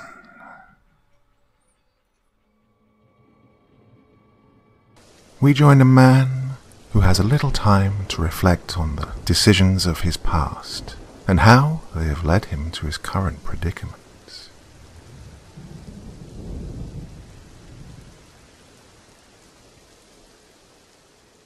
Five minutes. That's how much air I have left in here, give or take a few seconds, of course. I don't have access to a clock to see how long I've been in here. I do know this room holds enough air for roughly 10 minutes total, once sealed completely. I wasted my first five minutes trying to escape, a feat I am well aware is impossible, and actually quite stupid. I've resigned myself to this fate, unless she has a change of heart, which is doubtful to say the least. She caught me completely by surprise I'm almost in awe of her planning. I never once suspected she was anything other than what she appeared to be. I guess that's why they say you should be cautious of who you meet online. Four minutes now. That's if I can remain calm. I know what to expect, but will it keep me from pounding my fists against the door when my chest gets tight? Who knows? we'll see soon, I guess. She knew just how to cater to my tastes. Blonde hair, blue eyes, goth chick. Something about the light, dark contrast appeals to me. It helped that she looked familiar. I couldn't quite place who she was at first. She played a good role and got the best of me. She knew just how to make me feel comfortable, how to stroke my ego and lull me into a false sense of security. She seemed fragile, broken, desperate. just how I like them. I guess she just seemed easy. Three minutes. I don't know if it's in my mind, or if my breaths are becoming harder to pull into my lungs, and less satisfying once they get there. It's only a matter of time now, anyway. She was so charming to me, so sweet and humble, but she held that broken air about her, like she would do anything I told her to. I even considered asking her to join me in my work, as an assistant of sorts. She was just so damn obedient, not like the others before her. She didn't try to run off or act like a bitch to me. I think that's what did it. That's what made me let my guard down. So young and beautiful. My old eyes were blinded by lust, and strangely, hope for the future. Hope that she would be the one that I could keep, teach, and mold into the perfect life mate. Life can get lonely for a man of my tastes. Two minutes now. There's no denying that the oxygen level is dropping. My chest is starting to burn and panic is clawing at my brain, insisting I try again insisting if I plead long enough she'll open the door. I've kept it at bay so far. I know pleading won't work. She sees me for what I am. We'd been dating for a few weeks when that feeling of deja vu I got with her started to really pick at my brain. It practically overwhelmed me. But in my line of work, questioning these things can get pretty messy. If I do happen to recognize someone I knew before, well, that's just something best left unsaid. I finally placed her at the last second, right before she sealed me in here. She had wandered into my study as I slept, opened this hatch, and then waited for me to come looking for her. How had she slipped from her restraint so easily? How had she known where to find the secret latch to release this hidden vault? These are questions that will haunt me now, in this final minute or so of my life. The air is hot now, thick and almost completely devoid of oxygen. My chest is burdened by an unbelievable weight, and black dots shower my vision. It won't be long now. Such a shame that I didn't recognize her face just a day sooner. It would have been her in here, struggling to breathe her last. But it's too late to think of what could have been. There's barely even time to think of what is. She hid in wait until I was in place, staring perplexed at the open vault. Then she made her move, knocking me over the head and shoving me in here. I only just had time to turn around and glimpse her face, framed by the doorway, eyes flaming with hatred. Only then did I realize where I'd seen that face before. Years ago, she was my first. I was young, reckless. I know now that I was also too kind. I forced her inside this same vault that will come to be my tomb. But I let the little girl live. She couldn't have been but three years old. There's no way that she could have incriminated me, and at the time killing a child was a little too much to stomach. So, I drugged her, blindfolded her, and left her on the side of the road a hundred miles away. I'd never known what had become of her until now. My final thought, as my vision fades and my chest feels about to explode, is of those same hate filled eyes staring up at me from the face of her mother.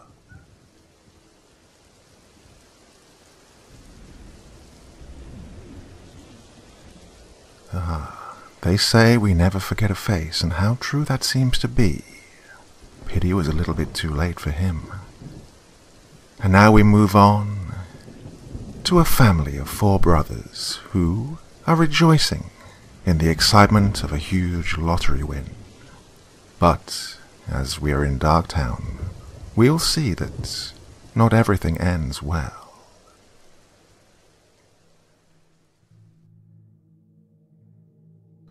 Three years ago, I won the lottery, and within four months, I'd learned to never trust anyone. My three brothers, Jerry, Paul, and Joseph, and I won the Powerball lottery. We claimed it anonymously and split the $399.4 million between the three of us. Of course, after taxes, we only took away around $71 million each. Every week for 10 years, we'd been throwing in $50 a person. Some weeks we'd win a couple of hundred dollars, but others we'd only take a couple of dollars. Despite losing money, we would still throw in the same $50 week after week without a second thought. The very hope that someday we might be able to just live comfortably without having a job was more than enough motivation for us. So that's why we never gave up, or even gave the $50 expense a second thought. We started the lottery pool when I was 24 years old. It became a thing one Christmas morning, when we all realized that we were spending around $300 a month on lottery tickets already. Now, before you judge all of us, I want you to know that since we were young, our father had spent almost all of his paycheck on lottery tickets. We captured that same passion, but luckily for us, it was in a more moderate way. Joseph and I have always been the closest, since Paul and Jerry were both more than seven years older than us. Joseph and I only had a two year gap between us. It meant that we argued and fought the most, but at the end of the day, we never complained about having to share a bunk bed with each other. No matter how much we argued that day, we would still talk to each other until we fell asleep every single night. We were the ones that actually got everything set up for the lottery pool. And he was the one that convinced Jerry and Paul to join in, so that we could have a better chance. We made ourselves a few simple rules, in case we won, and how we would go about getting the tickets. Number one we always used randomized numbers. Chance above luck. Number two, we would buy the tickets in a turn-based system. Jerry, Joseph, Paul, and then me. Number three, no matter who turned in the numbers, we would always split the winnings 25% each. Number four, if someone was unable to participate that week, they would not be included in the winnings. For 10 years, we faced almost constant failure. The most we won was around $1,200, but if you added up all the money we'd spent until then, it felt like we were just throwing our money away. For some reason, we still kept doing it without any sort of hesitation. The person who was in charge for that week to purchase the tickets always found the $50 from each of the other people. So, ten years later, and I went into the convenience store that was right by my house and purchased the 200 quick pick lottery tickets. That Wednesday, I sat in front of the TV while the numbers were being called. I wrote the numbers on a notepad and scanned through every single ticket. When I found one ticket that matched every single number and in the right order, I stared at the two pieces of paper. I checked the ticket over a hundred times just to make sure that the ticket I was holding in my hand was the impossible goal my brothers and I were shooting for. I called all of them within ten minutes, and within an hour, all of them were standing in front of me staring at the lottery ticket. Paul asked me if I was pranking them, but I convinced him that I really wasn't. Jerry's whole body was shaking with what seemed like absolute excitement. And Joseph walked up to me and gave me a hug while telling me that all of our lives would finally get better. We all decided that the cash option would be the best for us to split it equally. And once we got the cash, the first thing we did was split four ways on a new house for our mother and father. I have never seen them so happy than the day that we surprised them with their new house. My father fell into tears while trying to explain how much it meant to him while my mother gave each of us hugs while telling us how great we were to them. With all this newfound money, life was great to me until a month and a half later, when Paul was found floating in his outdoor pool.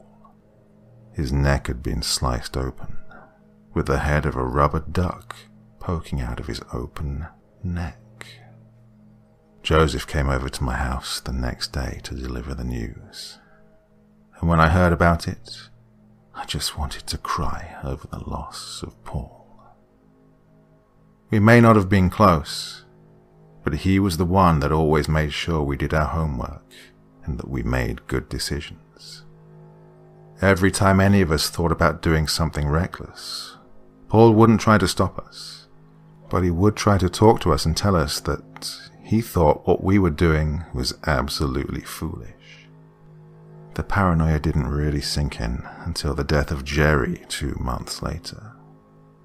He was found in the middle of our local park, clutching a rubber duck. His stomach was ripped open with both of his feet stuck into his midsection. He had been dead for eight hours before someone noticed that there was a dead body on the park bench. The day after Jerry's dead body was found in the park, I noticed that Joseph had stopped talking to me altogether. Just to make sure, I texted him over ten times and called him three times, but I never got a response. I remembered playing with ducks with Joseph in the bathtub when we were younger and took baths together. I remember that Jerry and Paul would always make fun of us for playing with such childish toys in the bath, but we were never really affected by their taunts.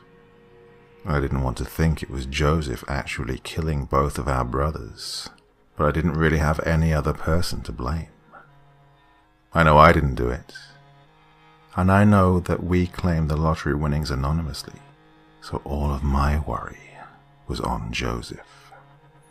I know that we were family, but you don't know what people will do for that extra bit of money. We all had more than enough money to live off, but obviously Joseph didn't think it was enough for him. For the next two weeks, I double checked everything I did and everywhere I went. I was filled with paranoia, since I knew that Joseph knew where I usually like to go and what I like to do. I kept staying vigilant until yesterday. Yesterday, I woke up to the news of Joseph's death. He was found with a knife cut from his neck to the bottom of his midsection. The bottom half of a rubber duck was stapled to his stomach, and the top half of the rubber duck was sewn over his lips. There were two words cut into his forehead Little Ducky. When I heard the news of his death, my blood ran cold, and I found myself filling with an overwhelming sense of panic. Little Ducky. That's exactly what my mother used to call us. Hmm, was that a case of keeping your friends close but your enemies closer? no one can be trusted in Dark Town. So, on to our final tale this evening. A man, unhappy with the appearance of his home, decides to do a little bit of decoration, but not in the way that most of us would imagine. I walk past the noose in my living room every day. It's been dangling from a hook I've hammered into the ceiling over the coffee table.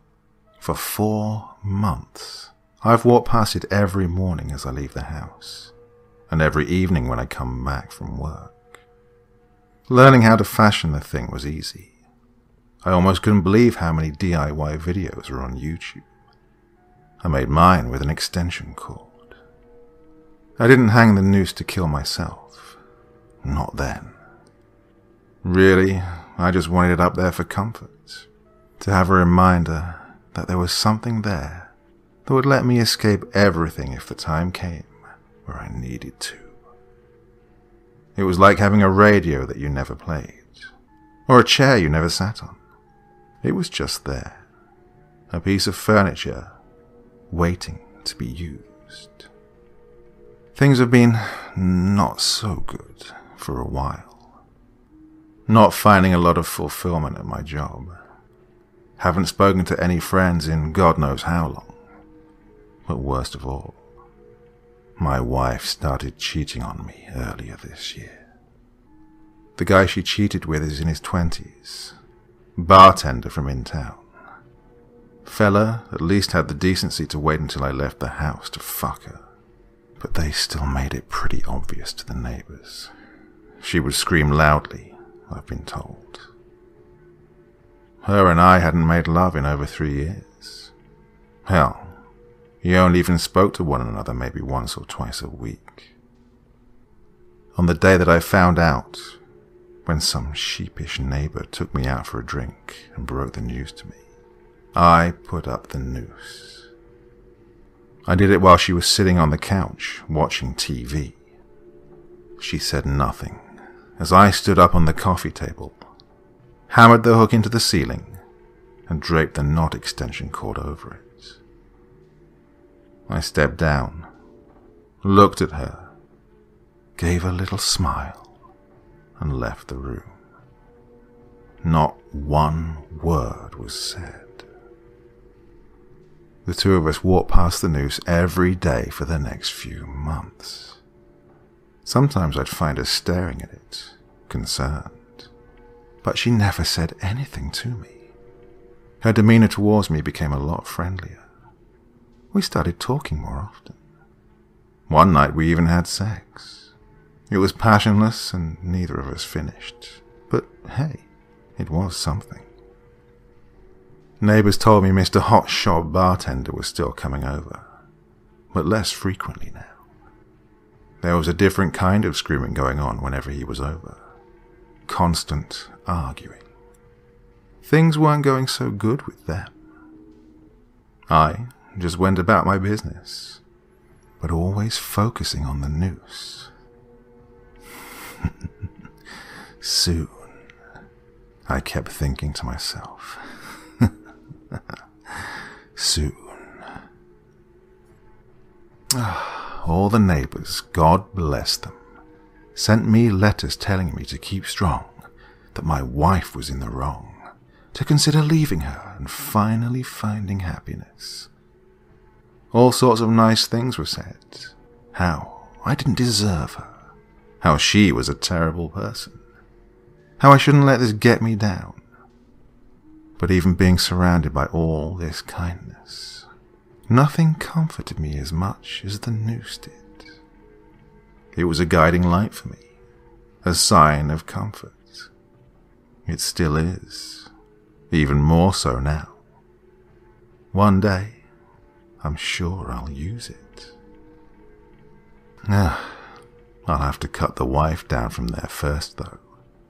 She's been keeping it warm for me since she found all those nice letters. I walk past the noose every day.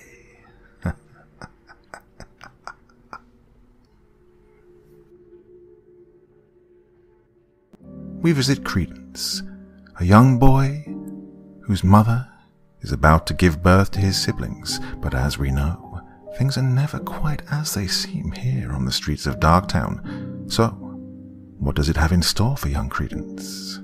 Let's find out in our first story this evening.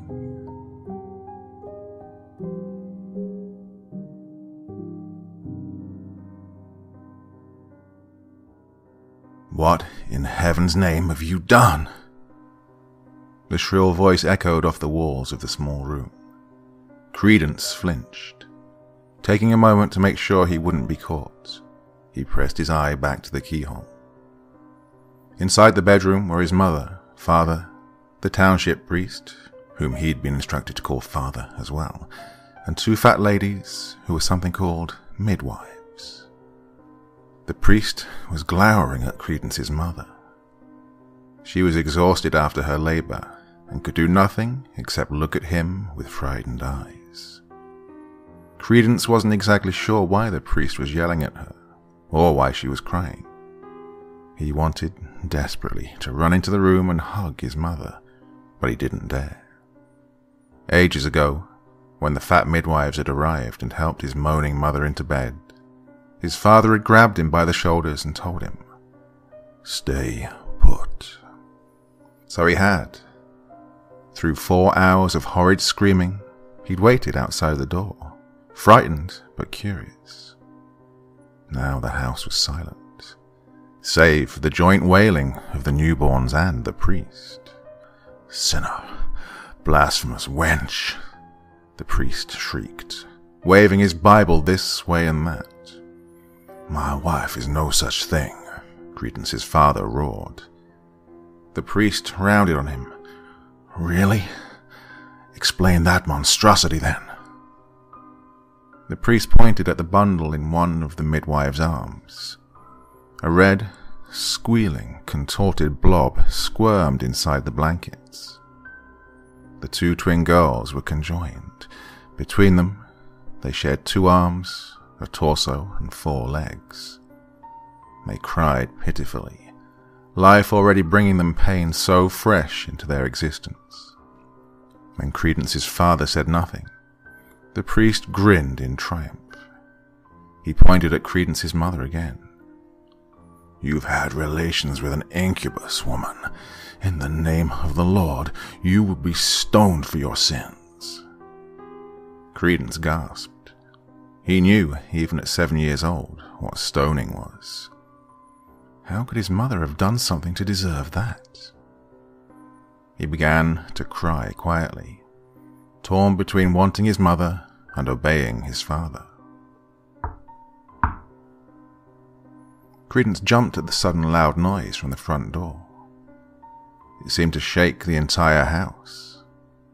The adults on the other side of the bedroom door were immediately silent. Credence swore that the blood rushing past his ears had never been so loud. He was almost thrown to the floor as the door he was leaning against opened. His father stepped out into the hallway, listening. Inside the bedroom, the priest began to pray quietly. The knocking repeated, more insistent this time. Credence watched as his father walked down the hallway to the stairs and disappeared down them. Moments later, he heard the front door open and then shut, as if his father had let someone inside. Hmm. Odd. They weren't expecting guests. Credence, Come here! His mother yelled to him, but Credence could not move. He spotted something climbing up the stairs, and suddenly felt like the air around him had turned to glass. If he moved, he could cut himself. What Credence saw next plagued his dreams for weeks after. A lithe creature came into view. Credence couldn't tell if it was a man or a lady. The thing barely looked human. It was thin, downright skeletal in certain places. Its hair was long, black, and greasy. Its skin, or the little that could be seen of it, was ashen grey, like a corpse. It was clad in a white shirt and dark slacks. Despite the circumstances, Credence thought it looked very fancy. Its arms were covered in white bandages, its fingernails long and black like talons, and its eyes, its eyes were covered by black goggles. The thing stalked toward Credence. It bent its head sideways, as if confused by his presence. Credence shifted under its gaze, his stomach dropping straight through the floor. He was certain that this monster was going to do something terrible.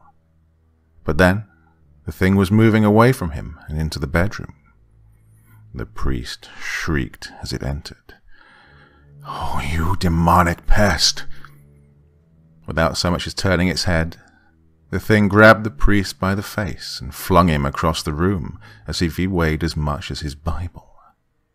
He collided hard with the wall, producing a very satisfying thump before slumping to the floor. The unruly distraction seemingly out of its way, the creature turned to the midwives, who were now trembling with fear. It moved toward them slowly, but with purpose. It reached for the twin girls, who had become considerably quieter since it had entered the room. Heart in his throat, Credence startled himself by finding his voice. Hey! The creature stopped, turning its head to face Credence as if to say, Yes? Will you hurt us? The creature shook its head, and Credence wondered for a split second how the damn thing understood him at all. He swallowed hard, choking out another question. Uh, are you really a demon? This time, the creature merely shrugged. It turned its attention back to the babies, reaching for them and gently pulling them out of the arms of the stunned midwife. It pulled them to its chest with surprising tenderness, a small smile forming on its lips as it rocked the twins gently back and forth. Credence half expected the thing to start cooing at them. After rocking the babies a few moments more, the creature gently placed them on the bed. Then it did something Credence thought was very strange. It pulled out a coiled tape measure from its breast pocket and measured the baby's length and width. Once that was done, the creature gently picked up the twins again, depositing them with care in the arms of his mother. Then it strode from the room, through the hall and back down the stairs. The front door shut with a bang. As soon as he was sure it was gone, Credence ran full tilt into the arms of his mother. Hot, fat tears streamed down his cheeks as he frantically demanded to know what had just happened. His mother held him tightly and sighed. That was the Undertaker. The what? Undertaker. It's, uh, well, a spirit of some kind that lurks in our town. It's a death omen, said Credence's father as he reappeared through the doorway. It comes to a house and measures someone for a coffin. Then it leaves and comes back again when the coffin is done. Usually the poor sod is already gone by then. Credence couldn't believe what he was hearing. So, the babies. His father nodded solemnly, and his mother began to weep. The twins lived for two days more, every second of it painful. It was almost a relief to everyone in the house when they took their last shaky breath. At the very least, the babies weren't suffering anymore. After their passing, Credence stayed home to comfort his mother while his father went to announce the death to the priest. The priest had been adamant that the twins were still a cambion, but had held off on stoning Credence's mother. Apparently being flung into a wall does wonders for judgment. His father hadn't been gone ten minutes when that same knock from a few days before echoed through the house. Credence got up and tiptoed to the front door. His father had told him, When the undertaker knocks, you best answer. And he took that advice to heart. People who didn't answer the door made the undertaker angry, and that wasn't ideal. He opened the door, and sure enough, the undertaker was waiting on the other side. Under its arm, it held a very tiny coffin. It extended the sad little pine box to Credence, who took it without a word and promptly shut the door. That wasn't the last time Credence saw the Undertaker. Occasionally, he saw it knocking on the door of some unfortunate person's home. Sometimes it had a coffin, sometimes it didn't. It came back to his own house, twice, once to measure his dying grandmother, and once to measure his older brother who'd caught rheumatic fever. As the years went by, people began to desert the tiny town. Credence saw less and less of the Undertaker. When he finally moved away from the town, he hadn't seen it in almost three years. He was glad to be rid of the sinister omen. But a small part of him was upset, as if he was homesick for a place fraught with bad memories. So he began to tell the tale of the Undertaker to his nieces and nephews, and eventually to his own children. The story continued down the line for generations, eventually lending itself to my tender ears. And who am I?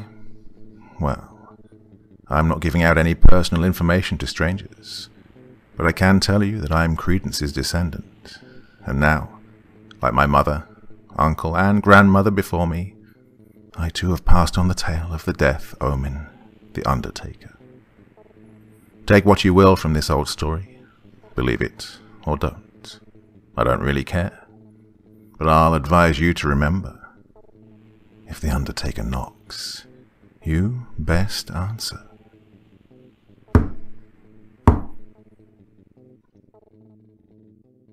Ah, so good of Credence to pass on the traditions to the younger generations. Now we move on further through the streets of Dark Town, finding ourselves at the house of young Alex, a boy who's tired after a day of fishing with his older brother. He goes to sleep and sleeps well, but wakes the following morning to find that circumstances have changed greatly. What does the future hold in store for him? Let's find out. I'm going to start this story off by saying it's completely true.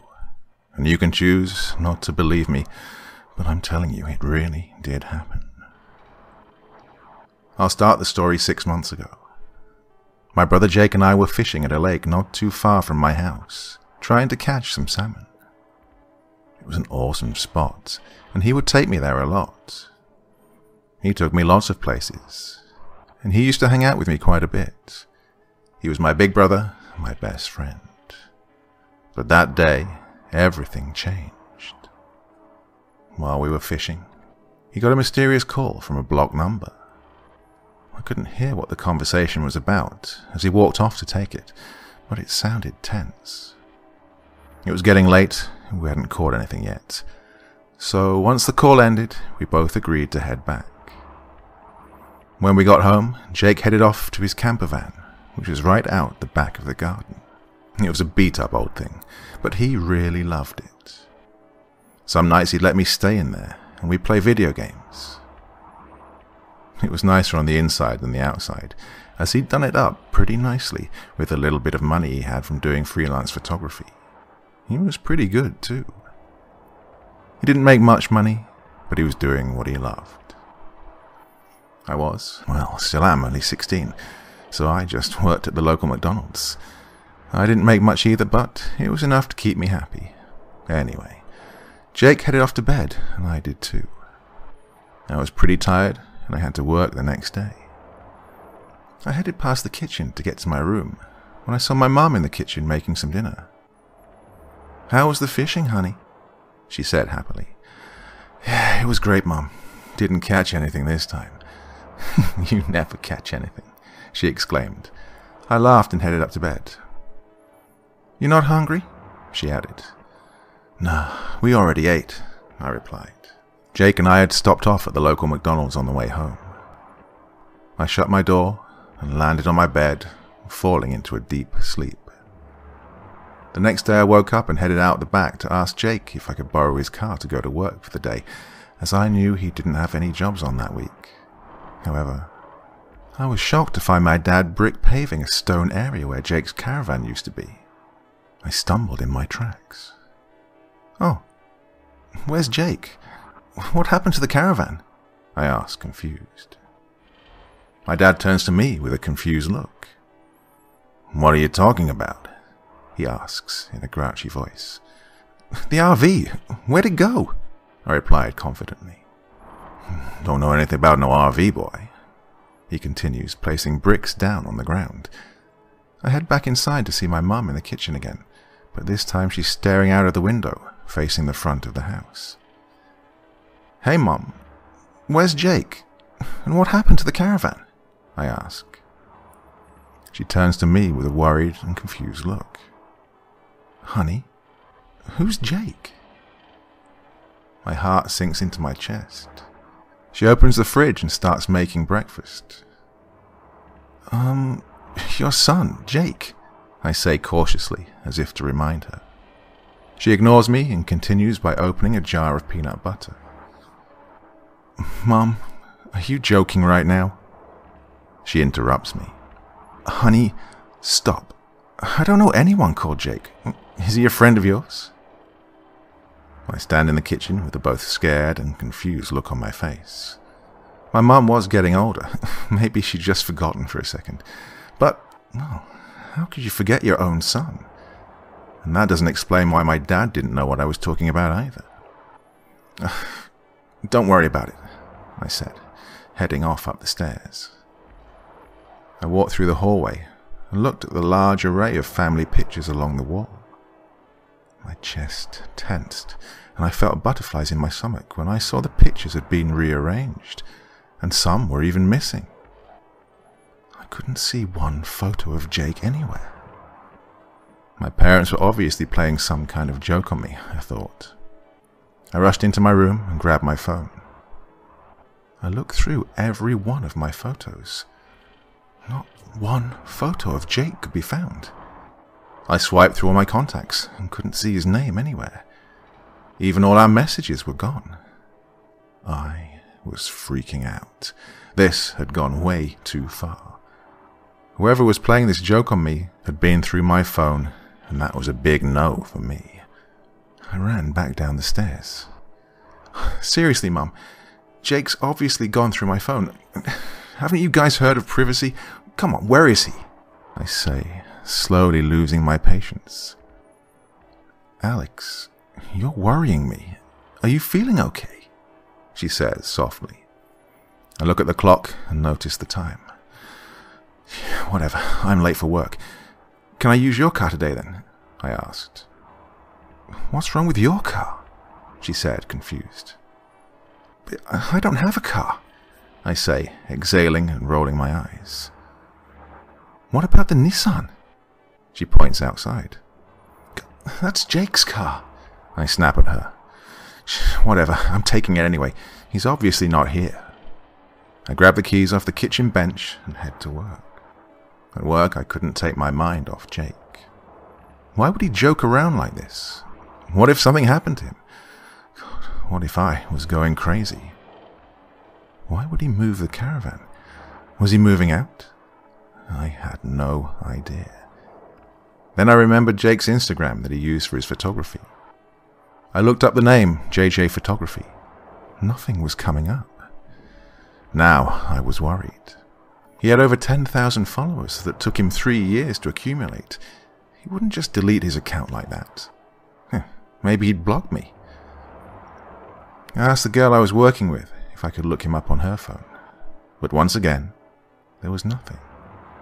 What the hell was going on? Once my shift was finished, I headed straight home. Still no sign of Jake. Now, I'd confronted my parents many times, and all they did was look at me like I was crazy. It's been three weeks now, and there's no sign of Jake anywhere. It's like he never existed. No text messages, no photos, nothing. My parents were starting to think I was going crazy. I needed to find out what had happened to him. I've contacted the police, but they say he's over 18 and they can't do anything about it. He has the right to go missing, they say. I'm convinced something terrible has happened to him. He wouldn't leave me like this. We did everything together. He had so much going for himself. God. I was convinced my parents were involved. I would try to talk to my dad, but every time I mentioned Jake, he would get angry and tell me to stop talking nonsense. I asked my neighbors if they'd ever seen him, just to prove that he had existed, but most of them are elderly and were no help at all. I just couldn't find any of Jake's stuff anywhere, as it was all kept inside his caravan. Other strange things started happening around here too. Like, one night, I was walking past my parents' bedroom to go to the toilet when I hear them whispering to each other.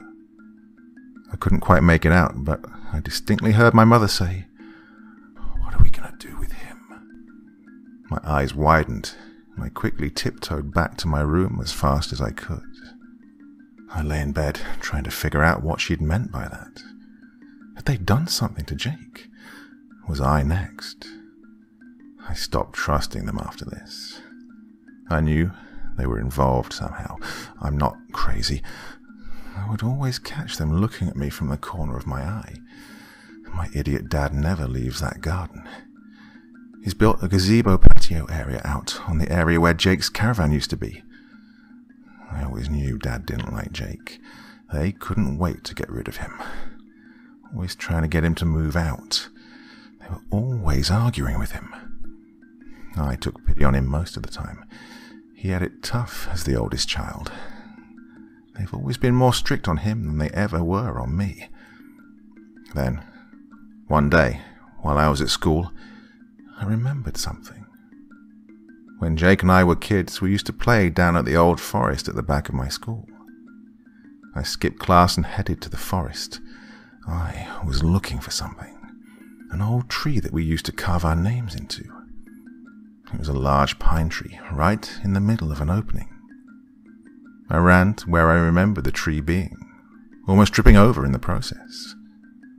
Sure enough, there it was. A large bark stripped oak tree with letters carved into it. And right next to my name was Jake's. I knew it. I knew he existed. I headed back home to confront my parents, but was met with an out of place white van on our driveway. When I walked in, I heard people talking in the living room.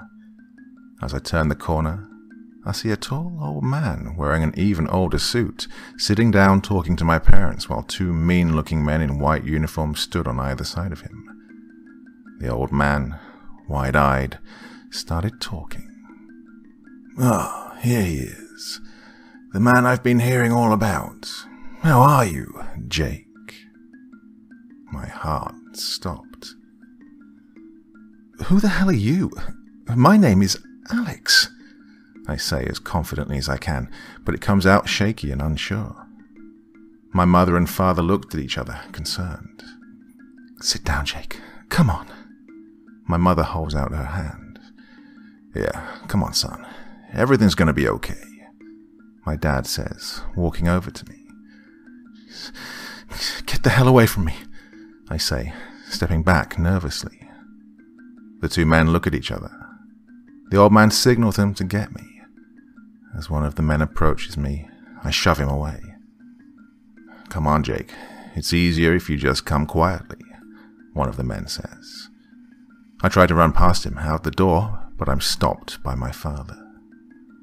That was the last thing I remember before getting pricked in the arm and quickly drifting unconscious. I've been in this facility for six months now. Things are much more clearer now that I'm taking my medication. I understand now that I'm sick, and this is the best place for me. Well, that's what I thought until 20 minutes ago, before I received a visit from my parents. They've been coming to see me every couple of weeks, but today was a particularly beautiful day, and I was allowed to go outside in the big courtyard. I was enjoying the view when my mother said she would love a photo of us all together. She went and asked one of the nurses to take the photo of us, where my father leaned in close and whispered into my ear. He whispered something that shook me to my core and knocked me out of any daze the medication had got me under. Mm, such a beautiful day. It's too bad Jake isn't here to take our photo. Say cheese, you guys, the nurse yells, smiling from behind the camera. My mother leaning in closer to me to get in the photo. I stared at the camera with a cold, blank expression. I was staring at the camera my mother gave the nurse to take the photo. The same camera that my older brother Jake used to use.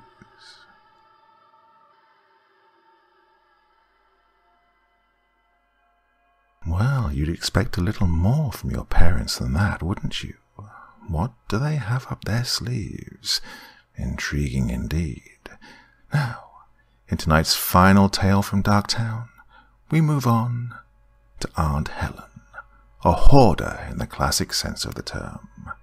Her house holds many secrets, soon to be revealed to her niece. But will there be a positive resolution to the situation? Let's find out as we once again venture through the streets of Dark Town. Ever since I was a young child, I always remembered my Aunt Helen as being a major compulsive hoarder. The few times my family and I would try to visit her, it seemed as if the mountains of miscellaneous items would get taller and more threatening every time we stopped by. If you've ever seen the TV show Hoarders, you'll notice that many of the featured hoarders are middle aged to senior women who are overweight and holding grudges from decades ago. That was my Aunt Helen. Even though she was struggling with a mental illness, I couldn't bring myself to feel sorry for her. After all, she had brought this upon herself, cluttering up her only living space. If we wanted to help her, she had to want the help we were offering. But every time we tried, she majorly declined. Yes, I knew that her husband had died, but that was years ago. Surely, I would think that by now she would have moved on, at least a little bit. It had been several years since I'd last visited Aunt Helen. In more recent years, she'd always declined to show up at family gatherings and parties. I just assumed it was because she felt slightly ashamed that we all knew about her hoard, or that she could barely leave her house in the first place. It began to worry me as time went on because I just simply figured that she was lonely, but I still couldn't wrap my head around the whole hoarding thing. So, once a week, I decided that I would call her to see how she was doing. I even considered planning a visit, even though I was terrified of seeing what her house actually looked like after all these years had passed. I began calling her every Wednesday, just to make sure she was all right. Even though it took her a while, she always answered the phone, and I never had to call twice. In the background of every call, I could hear the muffled sounds of her crawling over heaps of collected items. It was at that moment that I would always ask her if she was all right, and she dismissively said yes, she was just fine. I'd been calling her for about a month and a half, when my aunt's tone of voice began to get somewhat panicked and afraid. In the most recent of calls, she picked up the phone on the very first ring, which startled me. there's a strange car outside my house. It's been there for a day or two, and I'm starting to get worried, she said, her voice shaky and panicked. I simply told her to calm down, that everything would be just fine. Wasn't really that worried about her. I was thinking that maybe she was delusional or something. I carried on with my life, not thinking much about what my aunt had said over the phone. That was until the next Wednesday rolled around. I set about my normal routine of calling Aunt Helen. I was surprised that she hadn't picked up the phone at all. She always picked it up, even if it was on the last ring. I decided that maybe she was taking a nap, so I figured that I wouldn't bother her. I should just try calling her again the next day. Again I called, but no answer. Now I was really starting to worry. I decided that I should face my fears and head over to her house to make sure that she was doing okay. The drive wasn't far from where I worked, so I arrived there in about ten minutes or so. I could see a rusty, peeling grey van sitting in the street beside her house. I pulled into her cracked, weathered driveway and took a gander at the house she'd lived in for most of her adult life. It was painted a dingy, peeling white, with dusty windows and weathered shingles. It wasn't the outside I was the most worried about, though. I swallowed hard and made my way up to the front door, lightly knocking. No answer. I knocked again, but louder this time. Still no answer. I took a deep breath and decided to step into the house. I began trying to push the door open, but it barely moved. I pushed again, harder this time, and the door only moved a tiny bit more. I tried one final time, using all my strength to push the door open just enough to squeeze myself through. I gagged and nearly vomited at the putrid smell that filled my nostrils. It smelled like rotten food, decay and fecal matter all mixed into one. I didn't dare shut the door behind me as I trudged slightly deeper into the house. All the lights were on, despite it being daytime, which I found slightly weird. I had now realized there was a pile of junk about four feet high blocking the doorway. Just looking at the mess and clutter made me begin to feel anxious and claustrophobic. I had no idea how my aunt had managed to wriggle her way around the house. There were piles and piles of junk, and knickknacks piled all the way up to the ceiling. The piles consisted of anything and everything you could ever imagine. Food wrappers and old boxes, stuffed animals with matted fur and mounds of tattered clothes. I surveyed the scene in disgust, all the while calling out for my aunt. I covered my nose and mouth with my shirt and began to make my way up and around the huge mountains of forgotten junk. Every time I called out, I received no answer in return. Beads of sweat began to form on my forehead as a feeling of panic began to form as a lump in my stomach. As I was about to venture into what I assumed was the living room, the smell of rot and decay began to grow stronger, making me gag. I thought I was prepared for anything when I walked into that house, but nothing could prepare me for what I stumbled upon next. There was Aunt Helen but not as I was expecting to see her. She looked a lot larger than she had the last time I'd seen her, bloated with post mortem gases. A single bullet wound dotted her head, while swarms of flies buzzed around her lifeless body. The sight and smell hit me like a ton of bricks, and I couldn't help but turn away and vomit. I stumbled outside and immediately called the police, thinking that my aunt had ended her own sad life by turning a gun on herself. The police showed up shortly after, thinking that it may be suicide as well. The only thing that was strange was that the gun in question could not be found. I didn't blame them, of course, as it could have gotten lost in her heaps of trinkets and junk. It was now up to me and my family to clear out her house as a team. Anything below the uppermost layer began to rot, making it easier just to shovel it all out, like clearing ashes from a fireplace. The fridge has been filled with rotten food and more than a fair share of dead critters and insects. My cousin and I were able to locate at least two deceased cats, as well as something unidentifiable. But as I was clearing items out of one pile, I uncovered something even more startling. After removing an old newspaper, a decaying human hand popped out, making me stumble back in fear. I immediately called the police once again, telling them that I'd made another startling discovery. After a thorough investigation over the course of a week, they were able to inform us that the body was identified as a man with an extensive criminal record. The car that had been parked outside when I first showed up was registered under his name, and a few stolen goods were found in the back of the van. As it turns out, this man had picked the lock of my aunt's door so he could get inside to rob her. That explains why the door was unlocked when I'd showed up a week later. The man snuck into the house, not expecting to find a huge hoard, but some valuables instead. He had been armed when my aunt caught him sneaking into her house, so he shot her and tried to make his way out, but was buried alive by decades of old junk. I'd always thought that my aunt's hoard would kill her, not a bullet to the head. But the hoard was like a monster in a horror film, not only consuming her life, but also ending someone else's.